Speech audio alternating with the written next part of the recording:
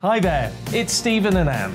At breakfast from 6am, you'll always be caught up with everything you need to know the latest headlines, opinions, and debates. We'll bring you the good news and the bad, but most of all, we're here for you. Remember, send in your views and let us know what you would like us to talk about. That's because we're your news channel. And every morning at 6am, it's breakfast on GB News. My name's Tom Harwood and join me 9.30am every weekday for The Briefing, your one-stop shop for everything you need to know about what's going on in politics today. I wonder if this is a deal that might need to be like the biscuits in this factory, twice baked. Is there not an opportunity here to win out against the extremes? Tom Harwood, GB News. What are you going to do about it? Things should have been done differently, and they, and they certainly are being done differently. Don't miss it. The Briefing with me, Tom Harwood, 9.30 Monday to Friday on GB News. Where would you like to go? Just take me to the studio, please, mate. You know where you're going. I've got a show to do. Friday Night Feast on GB News, 7 pm. And it's like nothing you've ever seen before. We take a different angle on the week's biggest news stories. The viewers and listeners set me some absolutely mad challenges to do. We tried to rehome a rescue dog. And yes, there's some other wacky stuff in there as well. I feel like I could take on the world. Well, that's that. Friday Night Feast with me, Patrick Christys, every Friday, 7 till 9 pm on GB News. Be there.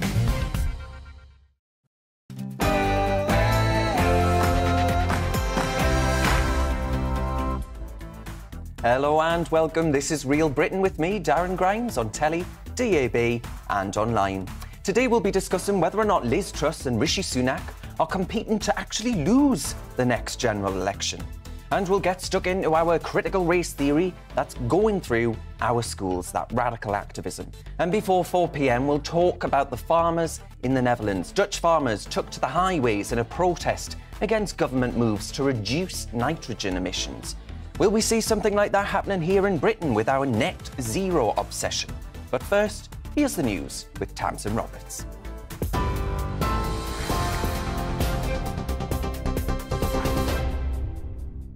Darren, thank you. Good afternoon. It's one minute past two. Here's the latest from the GB newsroom.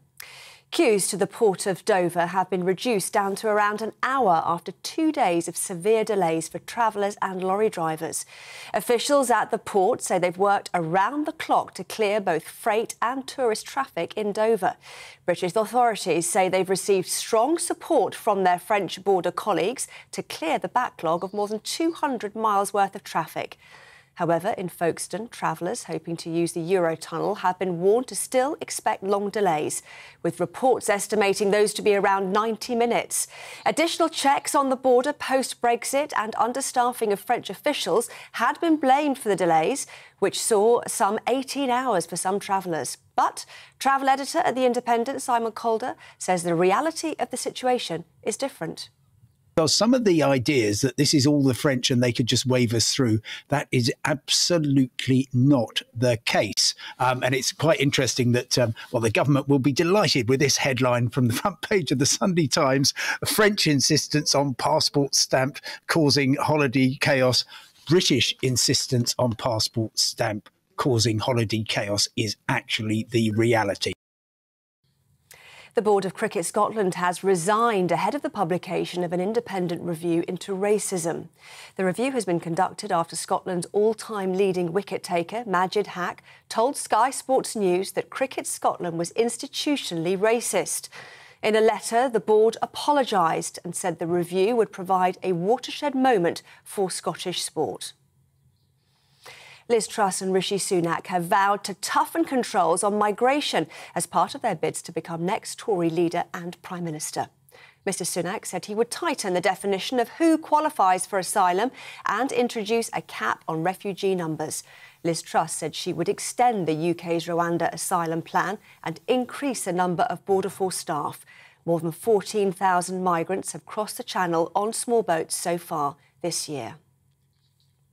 Well, the public is split on who would make a better Prime Minister. An opinion survey of 2,000 adults found that 43% back the former Chancellor, compared to 36% for the Foreign Secretary. This is in contrast to Conservative Party members, where a YouGov poll has placed Liz Truss 24 points ahead of Rishi Sunak. Well, earlier, Secretary of State for Work and Pensions, Therese Coffey, outlined why she is backing Liz Truss to become Prime Minister. Liz a long time, and uh, she's one of my closest friends in politics.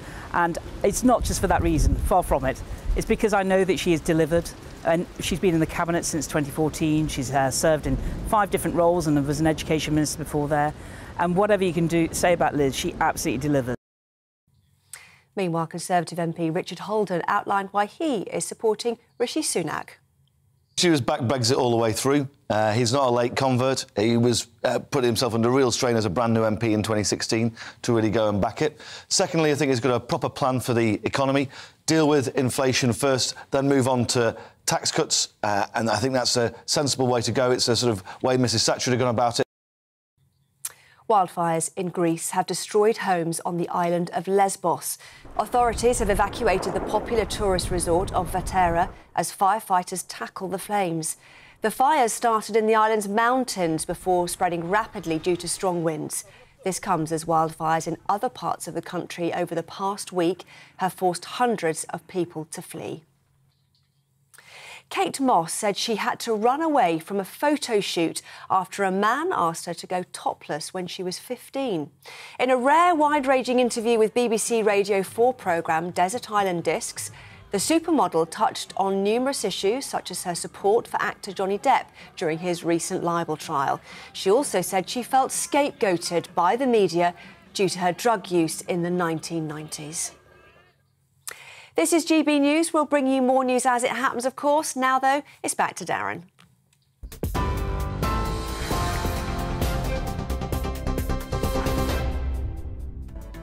Welcome to Real Britain with me, Darren Grimes. Here's what's coming up on the show. Liz Truss and Rishi Sunak continue their battle to be the next Prime Minister. Rod Liddle, associate editor at The Spectator, says the Tories have written their own death certificate by rushing the leadership race We'll be asking him why that is.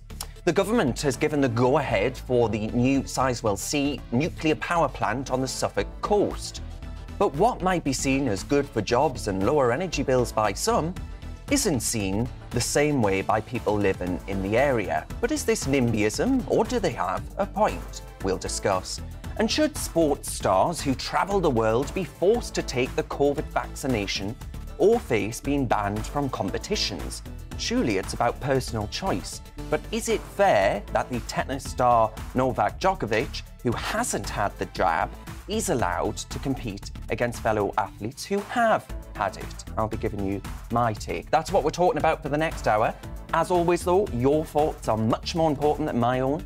Was it right to get rid of Boris, despite his gaffes and, you know, one or two untruths, it has to be said? Will they live to regret it? Rod Liddle seems to think so, but you can tweet me at GB News or email me on gbviews at gbnews.uk. Watch us on YouTube and don't forget Facebook, cracking content on our page. Cheers very much.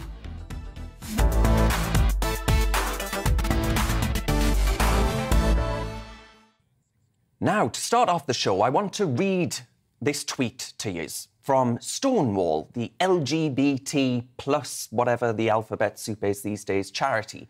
They posted an article from the Metro newspaper and said, Research suggests that children as young as two recognise their trans identity. Yet, many nurseries and schools teach a binary understanding of pre assigned gender.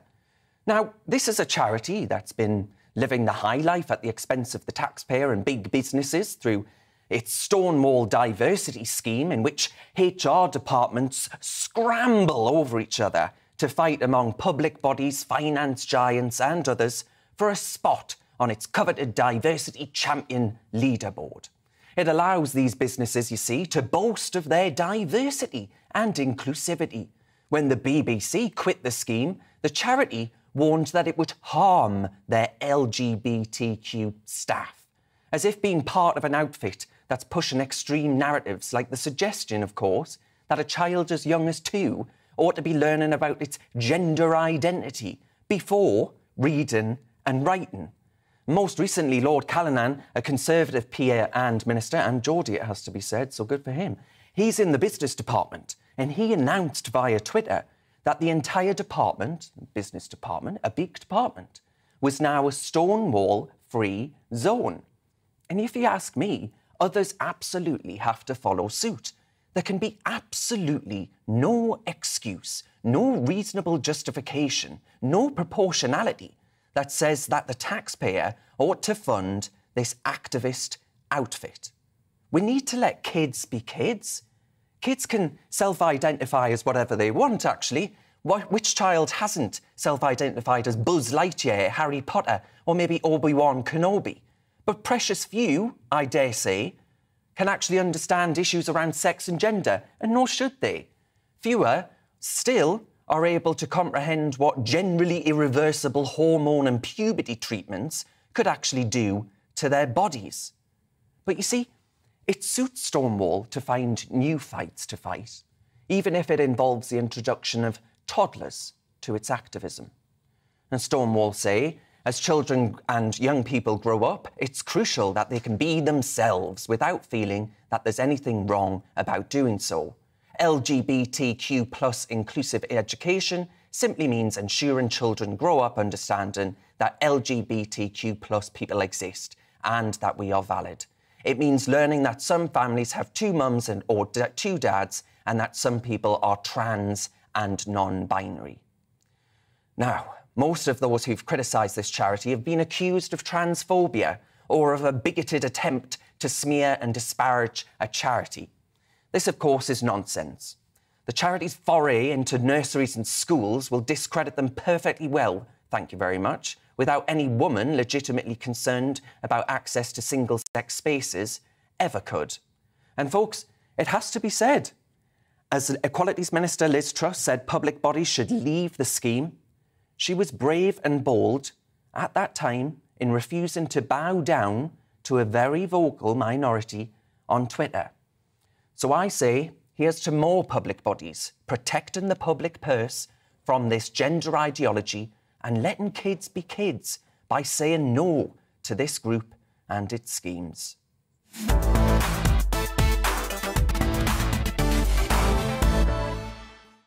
Now, as I said at the start of the show, the Conservative Party has been accused of rushing its leadership election and, in doing so, signing its own death certificate.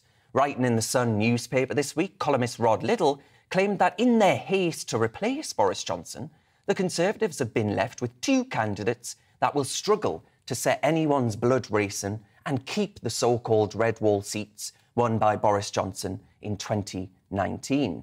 So is he right? Well, joining me now to discuss is the political commentator Dominique Samuels, the associated editor himself of The Spectator, Rod Liddle, and the political commentator Sophie Corcoran.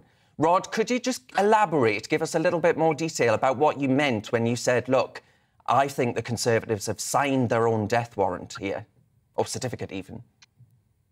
Yeah, I, I think there's a number of problems. Firstly, it was far too rapid a process, so that it was very difficult uh, either for MPs or indeed for the public or for Conservative Party members to find out what each of the candidates actually stand for. And that was made very plain by the uh, by the gradual dawning, and it, you know we should have had weeks to discuss this.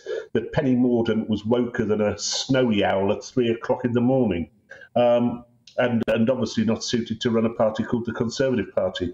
Uh, similarly, it didn't give enough time for Kemi Badenoch or Badenoch however you wish to pronounce it, uh, to push her case uh, uh, and, and to get her views across in a way which would have, I think, shown the party that she could have been a very, very good leader indeed. She was the only one, perhaps along with Tom Tugendhat, who looked to take the party forward and who I think could have had an effect uh, on the uh, on the voting public. Uh, and certainly, you know, uh, from the story which you were talking about before on LGBTQI and Stonewall, uh, she would have been bang on the money with that. Mm-hmm. The other problem is that we now have Liz Truss and um, Rishi. And what will happen, almost certainly, is that Rishi Sunak I think would have stood a much better chance of winning a general election, but he won't get a chance to do so because Liz Truss will win amongst Conservative Party members who want someone from the right of the party, uh, whereas Rishi is probably more seen as being in the centre and possibly even liberal. So I think Rishi Rishi would have stood a better chance of winning the election, but even then he wouldn't have won the election because there were so many people Conservative voters and people who aren't particularly fond of the Conservative Party who voted Tory in 2019 for Boris Johnson. Uh, and uh, are furious at the way in which Boris Johnson was treated. And now I have to say, I think Boris should have gone uh, because of the way he mishandled a whole bunch of events. But nonetheless, there are a number of people, a large number of people, who voted Tory not because they like the Tories, but because they like Boris Johnson. So I, so I, I think neither of the candidates has quite what it takes to win the next election, and I think uh, uh, that's probably bad news for the country, even though I'm not a Tory myself. Yeah, Sophie, do you agree with that? That Boris Johnson, you know, made fundamental mistakes there, and that he ought to have gone, but actually, places not too far away from where you are in Durham might think twice about voting for the Conservatives without Boris Johnson. I, I, don't even think you can say might. I think it's pretty much guaranteed that they are now probably going to lose almost all of the Red Wall seats. And I actually think seats like mine, where UKIP have previously performed pretty well and where I'm assuming that Reform are going to stand, also could be on the chopping block. Because back when there was another right wing party, the Conservatives were only winning by 92 votes. So there's there's a lot of ground to make up here, and the problem is is that what's come of this is that the the membership are angry that they've got rid of Boris in the first place, but now they are even more angry at the fact that we've been left with uh, Liz and Rishi because they wanted Kemi and Penny. So I think there's a real disconnect between what the membership, the grassroots, the most important fundamental part of the Conservative Party want, and the MPs that, that are representing it. So there's a massive amount of infighting going on within the party. We've got one separate battle between Liz and Rishi, and we've got another battle between the membership of the Conservative Party and the MPs themselves. Mm. Dominique, do you actually think the Conservative Party are going to, in the not too distant future, perhaps some conversations are even going on right now where they're saying, oh dear, we have made a pretty monumental mistake here, and that the next leader, whoever it might be, is basically just a caretaker to take them into opposition. I think the sort of thinking behind it was that if it was either Rishi Sunak or Liz Truss, they either of them two would have more of a mandate to govern, um, as opposed to someone who hadn't previously been in cabinet before. And I think one of the reasons why um, Liz Truss um, is so favoured and why she will probably win um, is because she remained in the cabinet and remained largely loyal to Boris Johnson and actually didn't. She wasn't one of the ones that came out and called for him to resign. And I think the logic is people specifically voted for Boris Johnson, and Liz Truss is one of the people that largely wants to continue on his legacy, is echoing a lot of the things that he's called for before, such as tax cuts, which Rishi Sunak has been emphatically against. He wants to focus more on inflation, which is why I think the logic is that Liz Truss would be the best option. But the problem with that is, is that Liz Truss doesn't seem to really have any charisma or any real ability to be able to connect with the same people that Boris Johnson was able to connect with. And this is the difficulty with getting rid and overlooking um, someone like Kemi Badenoch, an actual conservative with conservative values. Um, that actually wanted to take the Conservative Party forward. Rather, we've got two quite toxic characters who were involved um, in the cabinet whilst Boris Johnson was quite frankly being disgraced and he was sort of thrown out in a really unscrupulous way. You've got two people that sort of represent that toxicity, and I think that's the real mistake. And essentially, as recent polls do show, um, if there was a general election called, Labour would only just win a majority. Even though that's only just, that's a majority all the same, and, and that's not good for the Conservatives at all. Yeah, because Rod, coming back to you, we've got basically ended up with Robo, Rishi, and lifeless Liz. And I'm wondering to, to what extent, actually, and I feel quite angry about this, and I'm, I know I'm going to annoy quite a few of my viewers when I say this, but I'm actually quite angry at Boris Johnson, Rod, and hear me out. I'm angry that he, he was given the, the basically he, the votes he secured in 2019 were lent to him, right? And it was for this promise. The red wall seats were promised all of these, basically, that they would be no longer forgotten communities of Britain, right? Regional Britain would be heard, it would have its voice heard. And there was real hope and optimism behind th- those votes in 2019. And I just feel that the most golden opportunity has been utterly squandered. yes, it's a terrible waste. And the, the, the truth is that many of the things which people liked in Boris Johnson were, of course, his undoing in the end, in that he is rather cavalier. Uh, he doesn't take things seriously. Um, and that's that was rather attractive to the public. You know, this is a guy who doesn't come from the usual political mould, uh, and uh, and indeed, once he was in office, he didn't act like a politician. He didn't master briefs. He didn't know detail, and he was too inclined to not tell the truth when when uh, in, in, a kind of reflexive manner. Um, so I, I, think that is a huge problem and a huge waste of that 80 seat majority. But up here, you know, in, in County Durham, uh, it wasn't just a vote for Boris Johnson, it was also a vote, a very fervid vote against Jeremy Corbyn and the kind of identitarian politics which the Labour Party was at that time uh, pursuing.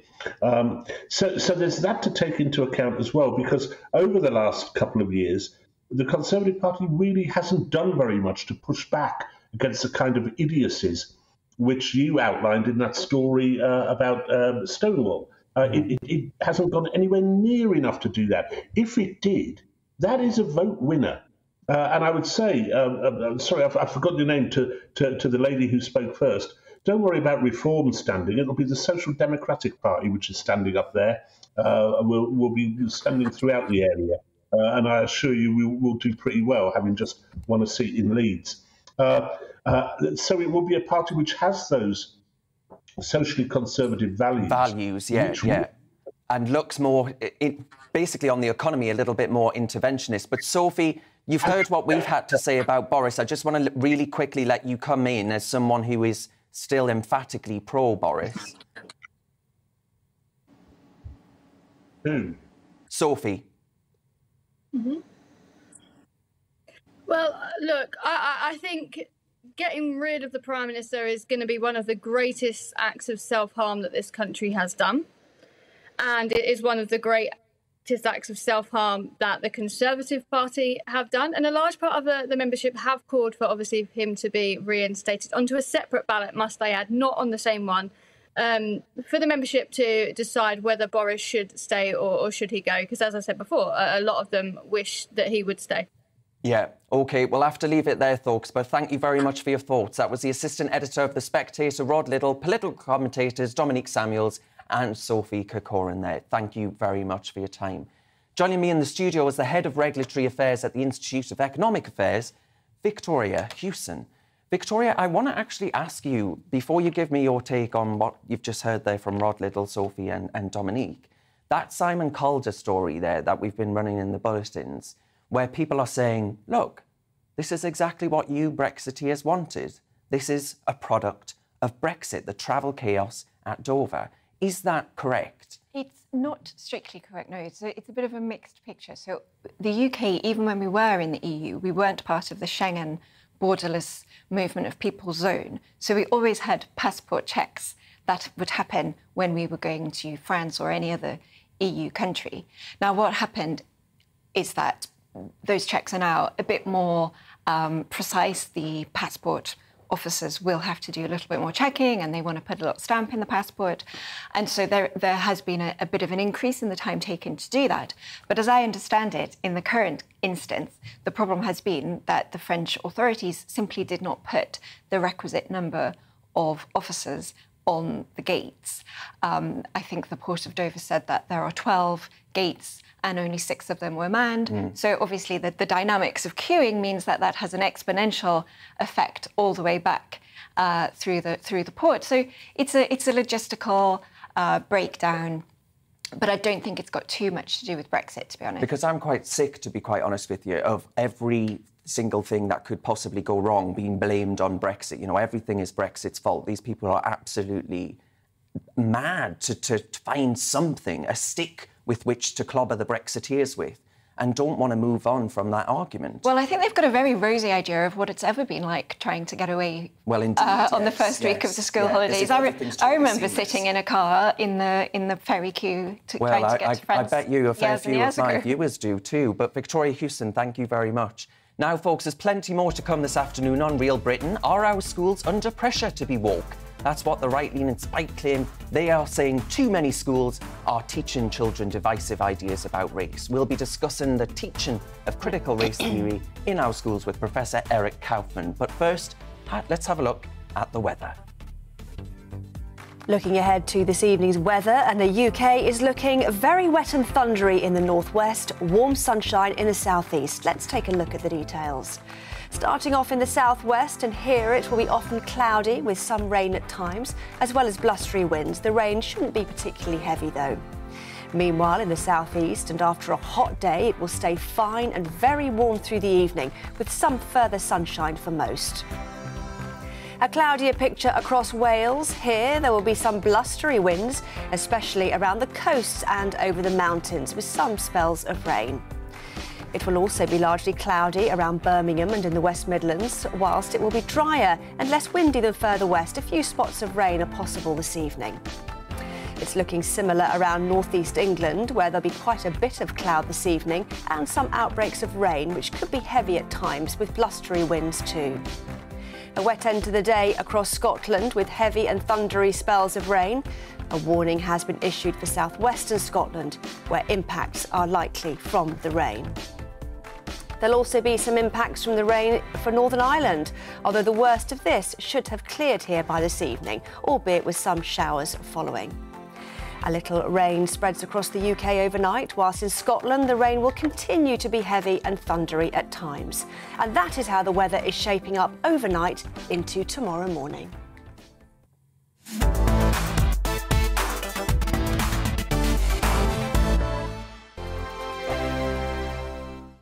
We are GB News. We're right across this great nation. On TV. On radio. On digital. Absolutely everywhere. We don't talk down to you. We embrace all voices with honest and civilised conversation. We are not part of the establishment. We're one of you. And we're only getting started. Join us on GB News, the People's Channel, Britain's news channel.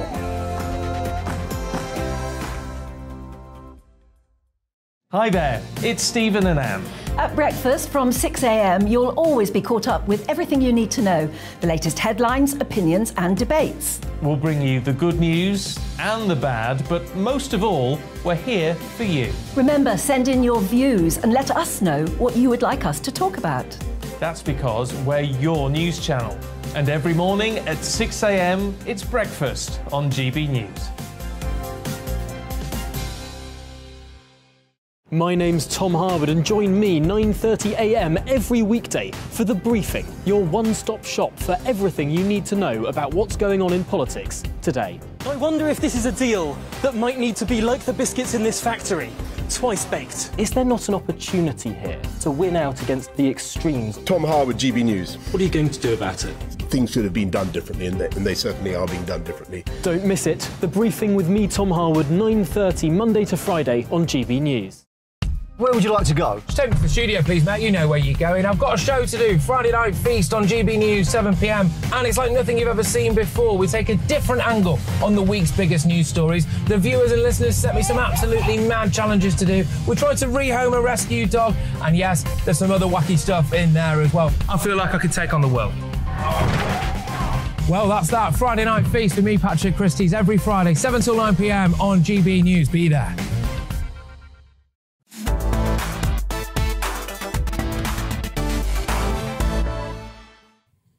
Welcome back. Now, the campaign group Don't Divide Us says that it's discovered that more than 20% of local councils in England and Wales encourage the teaching of, wait for it, anti racism models like critical race theory in schools. The figures were obtained by a Freedom of Information request to local authorities. Now, critical race theory is synonymous with the idea that white people, the accident of birth, the skin colour you're born with, give you structural advantages in society. And I tell you what, I'll take you up to County Durham, former pit villages, and show you the advantages of structural society be, from being white up there. It legitimises the concept of this white privilege thing. And earlier this year, the former Education Secretary, he's now Chancellor, Nadhim Zahawi, said that young people aren't snowflakes and schools must teach children how to think, not what to think. Well, to analyse these findings, I'm delighted to say I'm joined by Professor of Politics at the University of London, Eric Kaufmann. Eric, thank you very much for your time. Could you actually just tell my viewers, go back to basics, and actually tell my viewers what critical race theory actually seeks to promote? So, critical race theory essentially says that any disparities uh, between racial groups are essentially a result of what they call structures and, and, unconscious biases that reproduce these disadvantages and hierarchies over time. Uh, so they would not pay any attention to other explanations for gaps in racial outcomes, be it in education or income, that might have to do with whether a group derived rich or poor in a country, uh, the values that may uh, hold within a group, whether this be, you know, and, and, we could look at Jews, we can look at ethnic groups and ask, you know, why do some ethnic groups do better than others. That they're not interested in, but they are only interested in gaps between whites and people of color. Um, so, yeah, this is really a very unscientific approach, which sort of says that all of these gaps are a, as a result of these unconscious biases and uh, invisible structures that somehow we can't measure or test in any scientific way, but hey, we just have to believe they're there.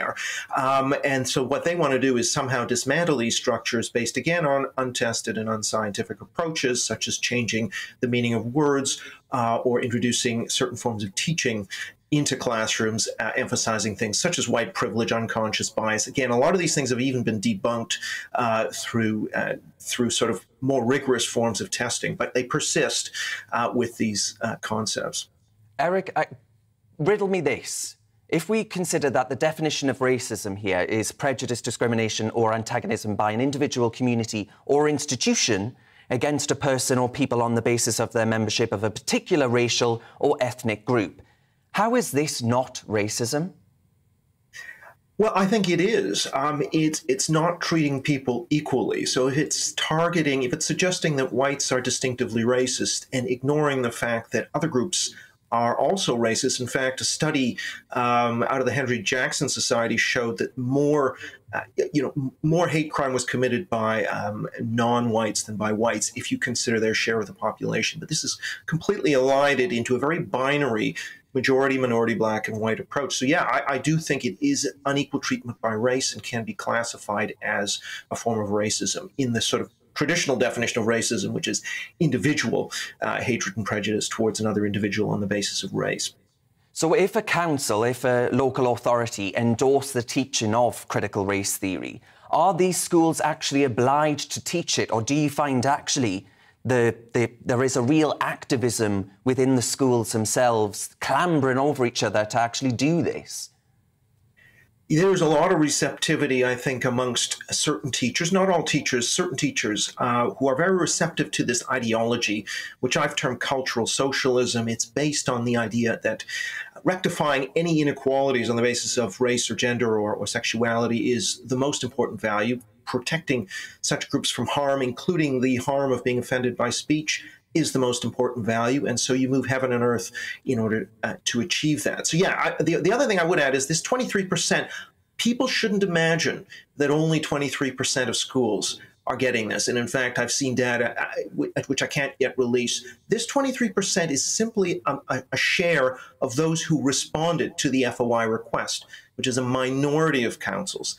And actually, the, people should understand that the, the levels of teaching of critical race theory are much higher than this 23%, and that will become clear uh, in the future. But uh, this is actually very widespread. Uh, we've seen pushback against Stonewall in their attempts to introduce. Uh, you know some of the sort of pro-trans uh, ideas into organizations. I don't think we've even begun to uncover the scale of this teaching that's going on in British schools. I think people would be shocked if they understood the actual level to which this has penetrated into the schools. Well, Eric, that's a very depressing conversation that we've just had, but I thank you all the same for your insight and uh, actually shining a light on this issue. That was Professor of Politics at the University of London, Eric Kaufmann. Thank you for your time. You're with GB News on telly and DAB radio. Next, we're going to be discussing the Sizewell C nuclear power plant, which is being given a green light by the government. It'll be built next to the existing Sizewell B, which is still, uh, and Sizewell A, which are there, which have been de- decommissioned, I believe. But this comes in light of campaigners on the Suffolk coast actually been opposed to it, so we'll have that debate. But first of all, let's have a check on the news headlines with Tamsin Roberts.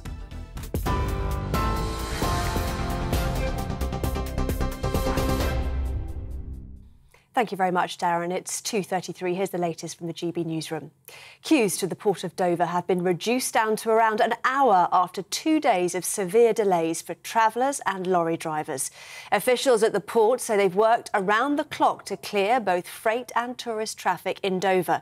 Additional checks on the border post-Brexit and understaffing of French officials had been blamed for the delays, which saw up to 18 hours for some travellers. Liz Truss and Rishi Sunak have vowed to toughen controls on migration as part of their bids to become next Tory leader and Prime Minister. Mr Sunak said he would tighten the definition of who qualifies for asylum and introduce a cap on refugee numbers.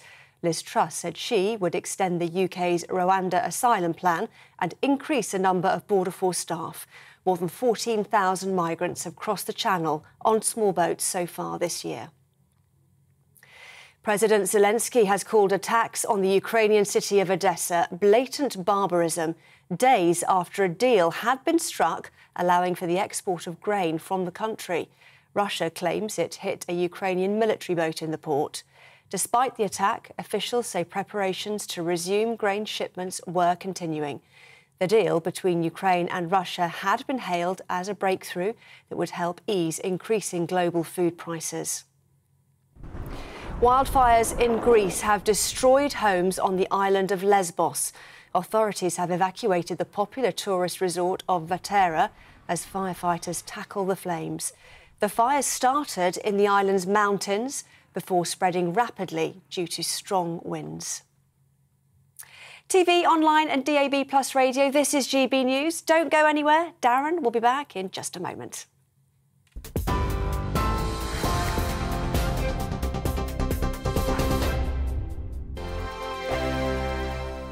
We are GB News. We're right across this great nation. On TV. On radio. On digital. Absolutely everywhere. We don't talk down to you. We embrace all voices with honest and civilised conversation. We are not part of the establishment. We're one of you. And we're only getting started. Join us on GB News, the People's Channel, Britain's news channel. Hi there, it's Stephen and Anne.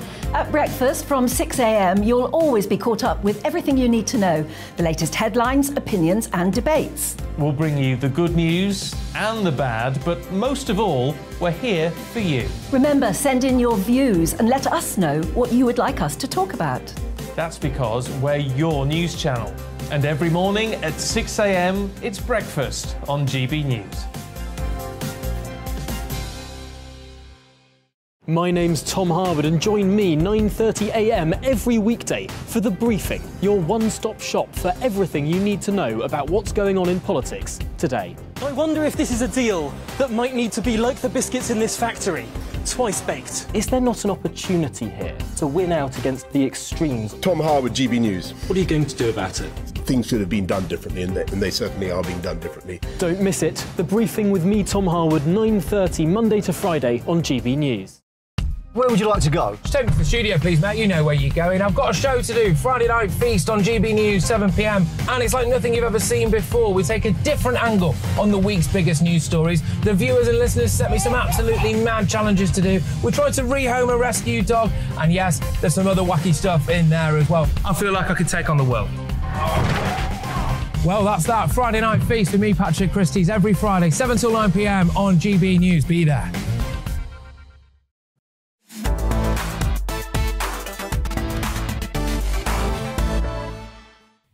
Welcome back. It's been confirmed that tennis ace Novak Djokovic will not be allowed to play at the US Open next month due to his refusal to get the coronavirus vaccine. The tournament's organisers have confirmed that they will follow the US government's rules on non citizens having to be fully vaccinated in order to enter the country. Quite ironic at a time when the US president, of course, has coronavirus despite being jabbed more times than a pincushion. But this means he cannot compete at the tournament he has won three times, folks. So, my next discussion is all about choice when it comes to taking the jab. And I'm delighted to say I'm joined by the author of A State of Fear How the UK Government Weaponised Fear During the COVID 19 Pandemic, Laura Dodsworth. Laura, what were your first thoughts? Were they much like mine, which is, you know, you can be vaccinated to high heaven, and someone like Djokovic isn't at risk, is he? No, I mean, I think you just made an excellent comparison. Um, we've got the US, which is barring travellers from entry if they don't have the COVID 19 vaccine, while they have a president who is fully vaccinated and wears a mask to boot, who has COVID. Now, the thing about the COVID 19 vaccine is it doesn't stop you from catching COVID and it doesn't prevent transmission. The, C- the, CDC makes it very clear on its website that you cannot enter the country without a vaccination, but it doesn't say why. Now, I know this will seem to many people like it's self evident, but the fact is, there's no good, hard scientific justification from barring people for travelling if they don't have COVID. In fact, here in the UK, the UK Parliament's Public Administration and Constitutional Affairs Committee asked the UK government to provide the scientific case when it had put forward vaccine passports. The UK government was not able to put forward a strong scientific case for vaccine passports. Now, if there's no hard scientific reason, what is the reason? The reason is actually a behavioural science reason if you look at reports that have been produced by the nudgers, the behavioural scientists for the World Health Organization and for different countries, you'll see what they try to do is harness social norms. This is our need to conform to behave the same as others, and they want us to believe in the social benefits of the vaccine. When Novak Djokovic refuses the vaccine, what he's doing is putting his own autonomy and self determination before social norms. So, as much as they want to harness social norms, inconveniently for public health authorities, Djokovic won't be harnessed. He just won't put on those reins. Now they're seeing him as a kind of a stubborn mule who should be excluded. And you know, the need to belong is an incredibly important foundational human psychological need. But he's not a stubborn mule. You know, if we look at him physically, he's more like a racehorse. He's actually had COVID, um, so he will have long lasting immunity protection. He's also at the peak of physical condition. Not letting him in is about deliberately punishing him, it's about excluding him, to, about jeopardizing him professionally. And it's actually supposed to send a signal to all of us that if you don't follow the rules, you get excluded and there are consequences. I okay. think it's mean and it increasingly looks like an absurd rule. A lot of my viewers, though, Laura, will be saying, look, I, I think you've got a point there, you know, that this, this bloke is potentially a lot fitter than most of us, I think it's safe to say. But actually, they will be of the view that it's selfish not to get the vaccine, and that actually the, the fact of the matter is that whilst the vaccine doesn't stop you getting COVID, it does stop the more serious side effects. So, what do you say to that argument? Well, I can really understand that argument. Nobody likes somebody who's selfish and won't do what's best for others collectively. But the fact is, as the vaccine doesn't stop you from transmitting COVID, what it does is to mitigate the symptoms in the individual. We shouldn't be worried about how we're affecting other people. The fact is, Novak Djokovic is bearing the risk he's bearing the risk of not being vaccinated. And that's a decision that he must make. And in fact, informed medical consent is one of the bedrocks of modern medicine. He isn't jeopardizing other people's health. Every single competitor or ball boy and girl or spectator in the crowd or person who comes into contact with them at the airline has also chosen to have the vaccine so they can have the benefits that the vaccine confers upon them. It's down to the individual to choose whether to be vaccinated and to have the benefits it confers. Djokovic isn't really impacting other people, except in terms of the signal that he's sending out, which is that self determination can trump a rather bullying and coercive public policy. Yeah, Laura, in your book, you, you talk about the way in which fear was, was weaponized to terrify us all to our wits' end. But I'm wondering, how fearful are you of the, the, the moves potentially? There have been calls for these so called climate lockdowns, and now we hear people wax lyrical about this monkeypox thing. And I just fear that actually we're getting to a point now where there's mass media hysteria. The media are clambering over each other to try and find a story that they can use to actually terrify the public with. And I don't see this Mm. getting better anytime soon. Have we lost our sense of individual personal responsibility a little bit here? Yeah, I mean, you're talking about something really broad there, a whole um, culture of fear, the politics of fear. I think we have to be careful to distinguish what, between, what governments do deliberately and what journalists do, because they're different things. So, for instance, the UK government hasn't been hysterical about monkeypox at all. Not at all. There's been a very watchful and sensible approach to monitoring the disease. Um, whereas you wouldn't get that same impression from some of the media headlines about monkeypox. It's also, also the same with climate. Now, I think that a lot of this comes from uh, clickbait, you know, um, fear sells. It sells better than sex. You know, I kind of long for the days of page three when all we had to worry about was bare boobs in the news. Now it's just constant diet of fear. In fact, there was a Times headline um, about Rishi Sunak. I don't remember the exact words, but he was talking about us being on a crisis footing, constant emergencies. I mean, personally, I thirst for political leaders that instead of trying to sell themselves on the basis of what we need to be frightened of, would set up really positive visions for where we want to be as a country. I think that um, while it still carries some people along with it, you know, there's always going to be an audience for fear. Some of us feel, you know, increasingly disenfranchised by the hysterical language. Also, it's a bit like Chicken Little. You know, we start we start noticing when the sky doesn't fall down. So uh, fear is it's an asset. Uh, it's it's a depreciating asset. You can't keep using it in the same thing forever. You know, um, Pete Hitchens tweeted today some old examples about um, climate change from the BBC and some other magazines where ice ages were predicted just you know a couple of decades ago. You know the country isn't one mile under um, under ice, and maybe the current predictions will come true, maybe they won't. But the problem with the constant doomsayers um, and the fear mongering is that we start looking back at all of these schedules of apocalypse that have been been missed. You don't want to be the boy who cries wolf. The, the US will drop its travel restrictions. It will do ultimately, and in the end, the way it's treated Djokovic is going to look petty and tyrannical. Mm, indeed. Now, Laura, I thought you were about to say there Rishi Sunak was campaigning to bring back page three for a minute. But yes, I do think there is a real problem. There is a real problem, isn't there, with, with the, the, the pandering to, to basically get those clicks in, to, to really exacerbate the, the fear around these issues. Because there is even a continued hysteria around COVID. And I'm just wondering, have you any thoughts on when that will come to pass? I think there will be, um, you know, scientists are predicting that there'll be another wave this winter. Let's look at what the Danish government is saying because they're being incredibly measured. In fact, they've changed their vaccination strategy. The US could really learn from this. So, the Danish Health Authority has said that despite their predictions that there will be a new wave this winter, they are using the vaccines in order to mitigate serious illness and hospitalizations rather than to prevent transmission. And they are very clear on their official page that the vaccination is voluntary.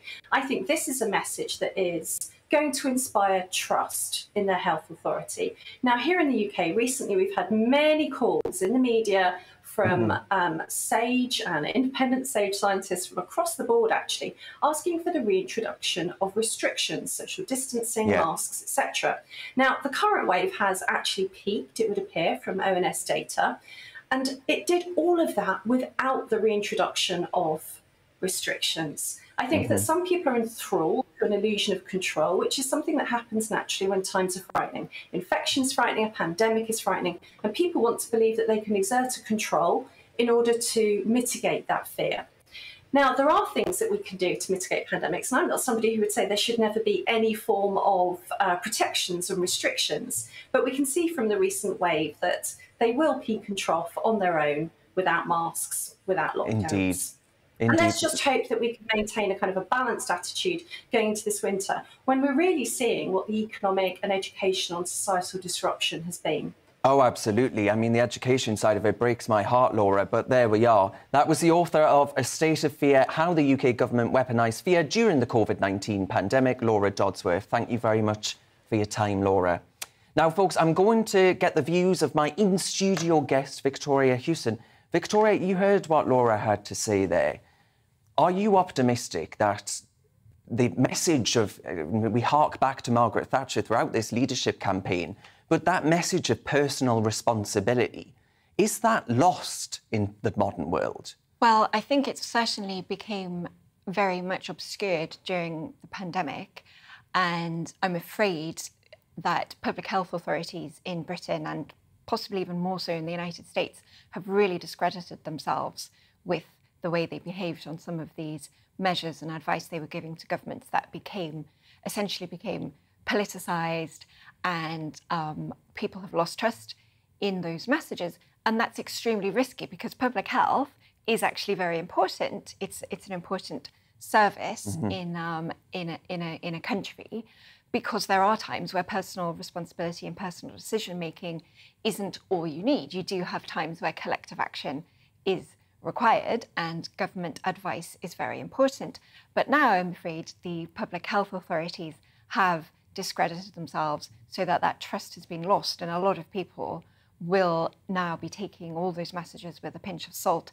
And in particular in Britain, the public health authorities had got themselves far too bogged down in trying to micromanage the minutiae of people's lives, what they could eat, um, what benches you could sit on. how how many units of alcohol uh, a week you should drink, and so on, and took Scotch their egg. eye took their eye off the ball when the pandemic came.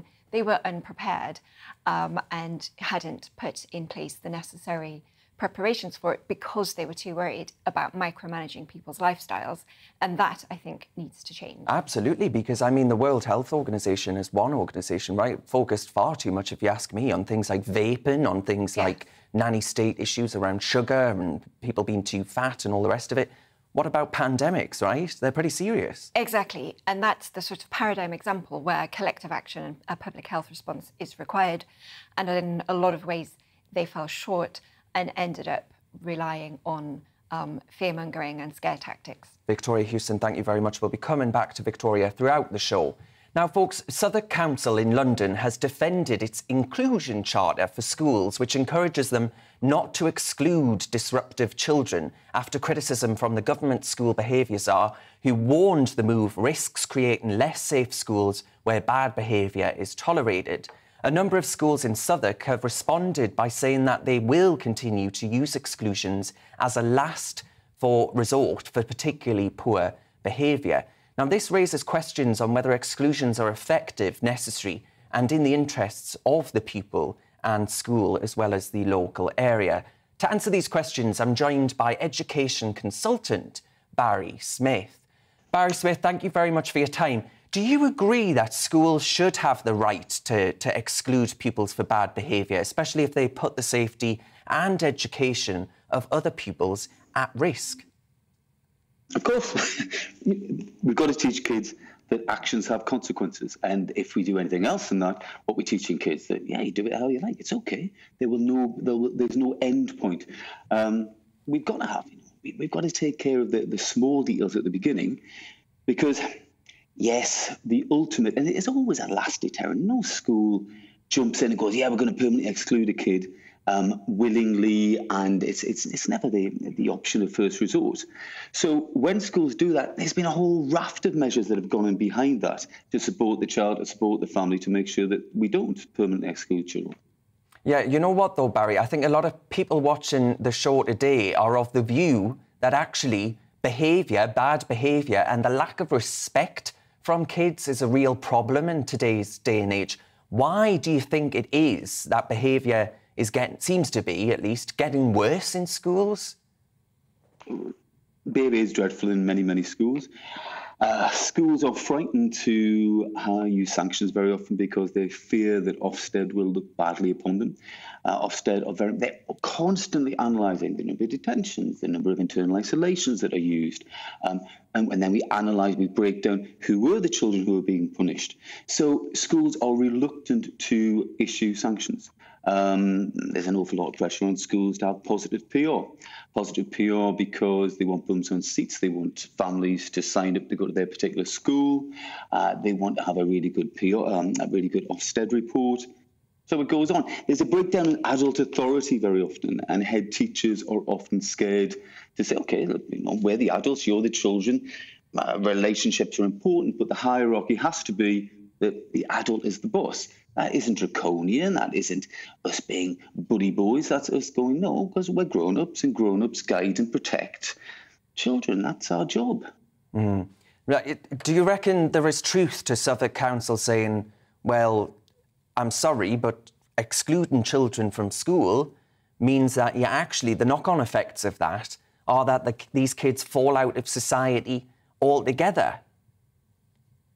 Well, you have to look. It, it, you've got no idea how difficult it is to permanently exclude a child. It takes an awful lot. About 34% of permanent exclusions are. Um, the basis is what we call um, um, uh, persistent disruptive um, behavior.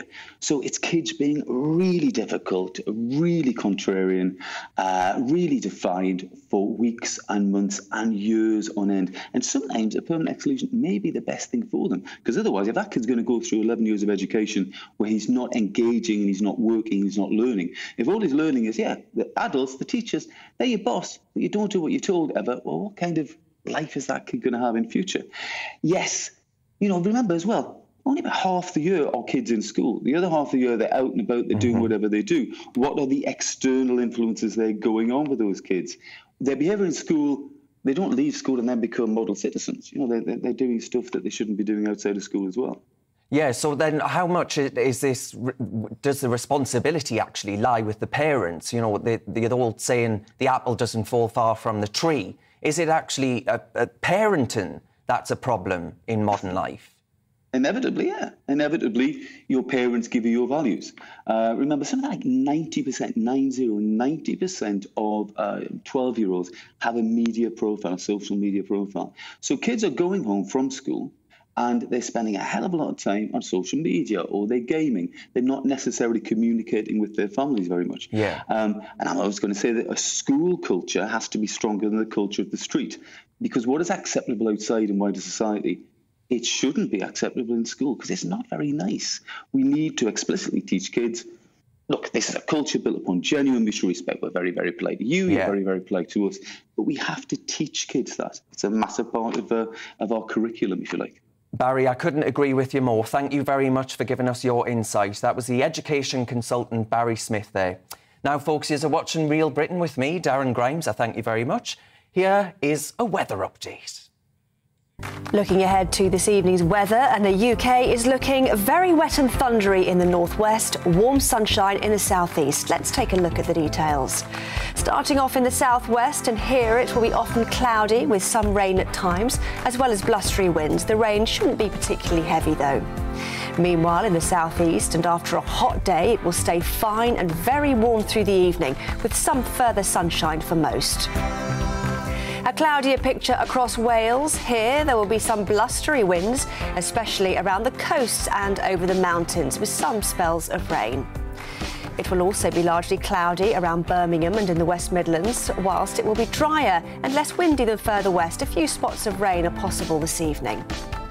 It's looking similar around northeast England, where there'll be quite a bit of cloud this evening and some outbreaks of rain, which could be heavy at times with blustery winds too. A wet end to the day across Scotland with heavy and thundery spells of rain. A warning has been issued for southwestern Scotland, where impacts are likely from the rain. There'll also be some impacts from the rain for Northern Ireland, although the worst of this should have cleared here by this evening, albeit with some showers following. A little rain spreads across the UK overnight, whilst in Scotland the rain will continue to be heavy and thundery at times. And that is how the weather is shaping up overnight into tomorrow morning. Hello, I'm Alastair Stewart, and I'd invite you to join me at noon on Saturdays and Sundays for Alastair Stewart and Friends. I've been in this business for over 40 years now, here at GB News, I've never been happier. I get to choose the big stories that really interest me. We hear what you have to say, and you hear what I have to say. I really hope you can join me noon on Saturdays and Sundays.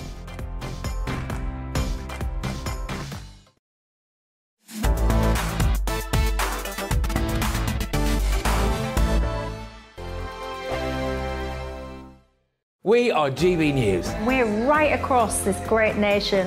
On TV. On radio. On digital. Absolutely everywhere. We don't talk down to you. We embrace all voices with honest and civilised conversation. We are not part of the establishment. We're one of you. And we're only getting started. Join us on GB News, the People's Channel, Britain's news channel.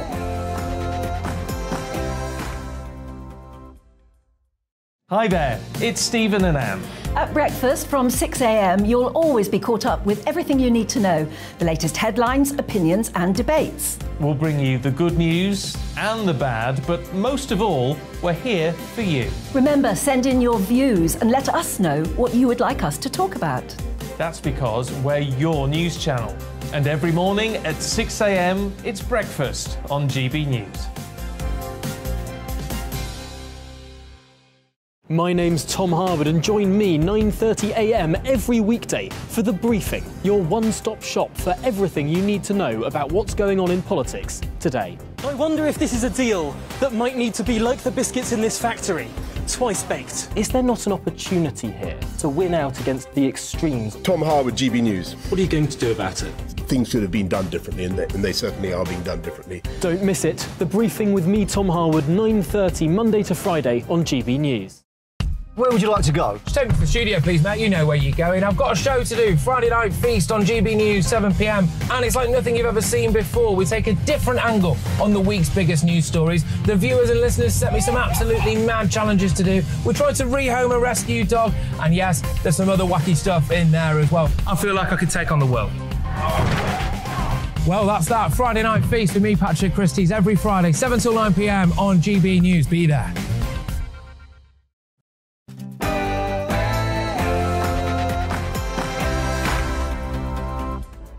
Hello and welcome. This is Real Britain with me, Darren Grimes, on telly, DAB, and online. In the next hour, we'll be discussing our borders and how we should go about controlling them. And we'll also bring you the latest on this monkeypox as it was declared a global health emergency by the World Health Organization. And we'll be talking about Dutch farmers protesting against emission targets. Are they actually fighting for all of us? But first, folks, here's the news with Tamsin Roberts.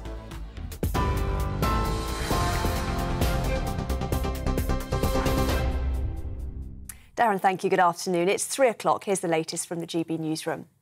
Queues to the port of Dover have been reduced to around an hour, but attention has now moved to Folkestone and the Eurotunnel, where drivers are facing a third day of lengthy delays. The AA called Folkestone the new hotspot of holiday hell, warning travellers were waiting several hours to get to the Eurotunnel terminal. The Highways Agency has warned of severe delays in Kent for people heading to either terminal. Additional checks on the border post Brexit and understaffing of French officials had been blamed for the delays of up to 18 hours for some travellers yesterday. But travel editor at The Independent, Simon Calder, says the reality of the situation is different because some of the ideas that this is all the French and they could just wave us through, that is absolutely not the case. Um, and it's quite interesting that, um, well, the government will be delighted with this headline from the front page of the Sunday Times French insistence on passport stamp causing holiday chaos. British insistence on passport stamp causing holiday chaos is actually the reality. The Board of Cricket Scotland has resigned ahead of the publication of an independent review into racism. The review has been conducted after Scotland's all time leading wicket taker, Majid Haq, told Sky Sports News that Cricket Scotland was institutionally racist. In a letter, the board apologised and said the review would provide a watershed moment for Scottish sport. Liz Truss and Rishi Sunak have vowed to toughen controls on migration as part of their bids to become next Tory leader and Prime Minister. Mr Sunak said he would tighten the definition of who qualifies for asylum and introduce a cap on refugee numbers. Liz Truss said she would extend the UK's Rwanda asylum plan and increase the number of Border Force staff. More than 14,000 migrants have crossed the channel on small boats so far this year. Meanwhile, the public is split on who would make a better Prime Minister. An opinion survey of 2,000 adults found 43% back the former Chancellor, compared to 36% for the Foreign Secretary. This is in contrast to Conservative Party members, where a YouGov poll has placed Liz Truss 24 points ahead of Rishi Sunak. Earlier, Secretary of State for Work and Pensions, Therese Coffey, outlined why she is backing Liz Truss to become Prime Minister. Liz a long time, and uh, she's one of my closest friends in politics. And it's not just for that reason, far from it. It's because I know that she has delivered. And she's been in the cabinet since 2014. She's uh, served in five different roles and was an education minister before there. And whatever you can do say about Liz, she absolutely delivers. Meanwhile, Conservative MP Richard Holden outlined why he is supporting Rishi Sunak. She was back Brexit all the way through. Uh, he's not a late convert. He was uh, putting himself under real strain as a brand new MP in 2016 to really go and back it. Secondly, I think he's got a proper plan for the economy. Deal with inflation first, then move on to tax cuts. Uh, and I think that's a sensible way to go. It's a sort of way Mrs Thatcher had gone about it. Wildfires in Greece have destroyed homes on the island of Lesbos. Authorities have evacuated the popular tourist resort of Vatera as firefighters tackle the flames. The fire started in the island's mountains before spreading rapidly due to strong winds. This comes as wildfires in other parts of the country over the past week have forced hundreds of people to flee. Kate Moss said she had to run away from a photo shoot after a man asked her to go topless when she was 15. In a rare, wide ranging interview with BBC Radio 4 programme Desert Island Discs, the supermodel touched on numerous issues, such as her support for actor Johnny Depp during his recent libel trial. She also said she felt scapegoated by the media due to her drug use in the 1990s. This is GB News. We'll bring you more news as it happens. Now, let's get straight back to Darren.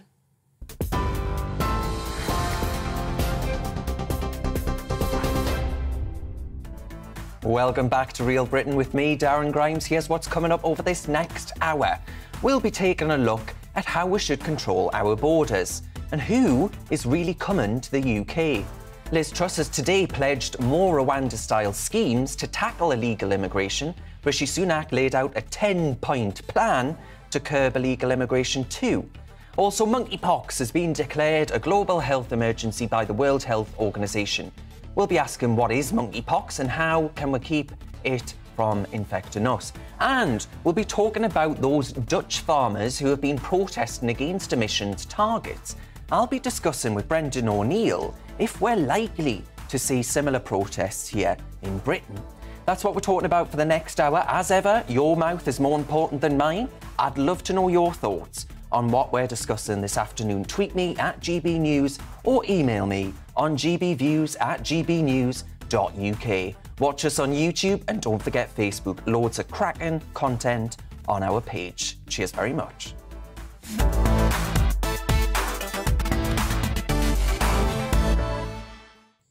Now, what feels like the never ending issue, that is the migrant crisis, next. It's continued to call into question the UK government's ability to control our borders. We got Brexit done, we ended the free movement of people, we implemented a £120 million plan to send migrants to Rwanda, yet we still find ourselves in a position where we can't get to grips with illegal immigration.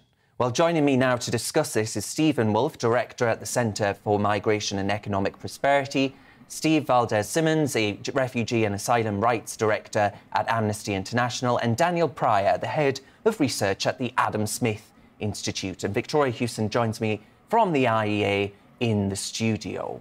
Now, Boris Johnson wrote in The Telegraph that he sorted illegal immigration. Has he, Mr. Woolfe? We'll start with you. Absolutely not.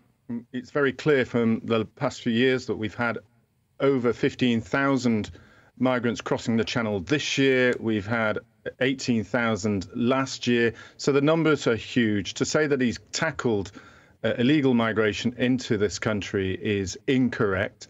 And for those that continually say just simply because you are going to claim asylum into the UK once you arrive, you are not illegal, that is not technically a legal definition at all. Of course, once you arrive, you make that claim of asylum, but in the process, it's up to countries to define whether you are illegal or not to do so. And so he's failed, absolutely. He's not changed the law enough, enough to be able to tackle it. He's not provided the resources, as the latest re- report, uh, as we heard over the last couple of days, which looked at the Home Office failures on board, board the border force. He can't do it. He hasn't done it and it's going to be very difficult for anyone to try and do this in the future. Steve Valdez-Symonds, there. I want to bring you in from Amnesty, the Amnesty perspective. Who is actually coming here to the UK? Because a lot of my viewers, Steve, are deeply frustrated with this idea that actually the United Kingdom, we are basically borderless Britain. Well, we're not borderless Britain. It's true that managing this, the situation of people who enter this country to claim asylum, that has gone out of the window. But we should reflect upon the fact people are entitled to seek asylum in this country, just as they're entitled to seek asylum in others. Very few people do seek asylum here. The majority of people whose, whose asylum claims are determined by the Home Office are found to be refugees, and yet there is no means provided by the Home Office for anyone to come here for the purpose of seeking asylum, but for making a journey which is not authorised or permitted in advance. So that is why people come by small boats and indeed other means without invitation. They have no choice. Daniel Pryor, France, it, to many of my viewers who go on holiday there, is a perfectly lovely country. And why I think the, the pro immigration side of the argument failed to actually make a case for why the United Kingdom has to be the final destination. Uh, and I mean, France, alongside Germany, Spain, and many other countries in Europe, do accept far more asylum claims than we do. Globally, most asylum seekers end up in countries that neighbor the one they left, places like Turkey and Pakistan. But if the UK just flat out refuses to offer asylum seekers protection, then why should France? Why should Germany? Why should Poland, which has taken in over a million Ukrainian refugees? In the end, I think either we all do our bit or refugees end up having no protection from war and persecution at all. The whole international refugee and asylum system works on the basis that everyone does their bit. Uh, and I'm not comfortable with us shirking on that. I don't think most other people are. There has to be a better answer than it's all someone else's problem. And I think the creation of proper, safe legal routes, which we don't really have unless you're Ukrainian or uh, a small number of Afghans, uh, we really need to be serious about creating alternatives so we take back control of the channel from these smugglers. So, Victoria Hewson, is the United Kingdom, are we guilty of a dereliction of duty when it comes to our asylum policy? Well, I think there are certainly some aspects of it that are not being well managed. For example, the removal of unsuccessful asylum seekers is basically ground to a standstill. That almost never happens. Um, and, uh, you know, the, the, the channel boats problem is is more, I think, an outworking of the way the asylum system at a global level that Daniel was referring to is not really working in the modern era where um, there are literally millions and millions of people living on this planet mm-hmm. who would rather not live where they are. Yeah. And now have greater mobility, partly because actually there's there's more wealth um, available in those desperately poor countries. There's, there's now a sufficient wealth for some of them that they can actually pay the people smugglers or get themselves um, to the borders of Europe in pursuit of a better life. Now, question whether the historic systems for dealing with refugees are actually capable of dealing with this new um, way in which global movements of people are actually happening. Yeah, so Steven Woolfe, then coming back to you, I just, a lot of my viewers will be saying, hang on a minute, I'm hearing what you're all saying. But at this time, we've got a housing crisis. We've got a dentist crisis. We've got a healthcare crisis. We've got a cost of living crisis. We've got an energy crisis. We can it take on more people at this time? And I think they've got a valid point. I mean, I've got to take on Steve Valdez's point that very few uh, asylum seekers come to this country. Since 2001, 865,000 people have made applications for asylum. 55,000 did so last year, and the average annual numbers is 43,600. Our research shows that it costs in the first year, ranging from collection to housing and hospitals and schools and funding them and feeding them, costs around £40,000 per asylum applicant in the first year. If you then add on those who are coming in the scheme this year from the Ukraine, those that we're allowing from the Afghan, small numbers, and also those coming from Hong Kong, we'll estimate around 200,000 will come in either through the illegal routes, the asylum applications, all those schemes. That's a cost of 8 billion. 8 billion pounds that could be used on services to house, for example, the 235,000 people born in this country living with their children or on their own in just bedsits. We have to consider the cost, the numbers. And whilst Daniel is correct to a certain extent in saying that when we look at Germany and, and France, they've taken more, but the reason Germany took more is because of Merkel's monumental madness in 2014 and 15 of opening the whole of the borders to the whole world in response to the Syrian crisis, and as we now know, far more people from across the co- countries came, and two and a half million people entered Germany. We could not cope with that if we have the same system that they're proposing at the moment from the Labour Party, or indeed from what I can see from Rishi Sunak's proposals too. So, Stephen, then a lot of bleeding heart liberals, though, will be shouting at their television sets right now and saying we're the fifth largest economy in the world we should absolutely be following Daniel Pryor's advice and actually leading the way in, in our duty and responsibility to people from around the world who need to seek refuge. No one's ever said that we shouldn't look after people that come from different parts of the world in a asylum process or otherwise. I think we're showing that very clearly in the way that we treat those from Ukraine. The question is really the numbers, where they're coming from, and how can we cope.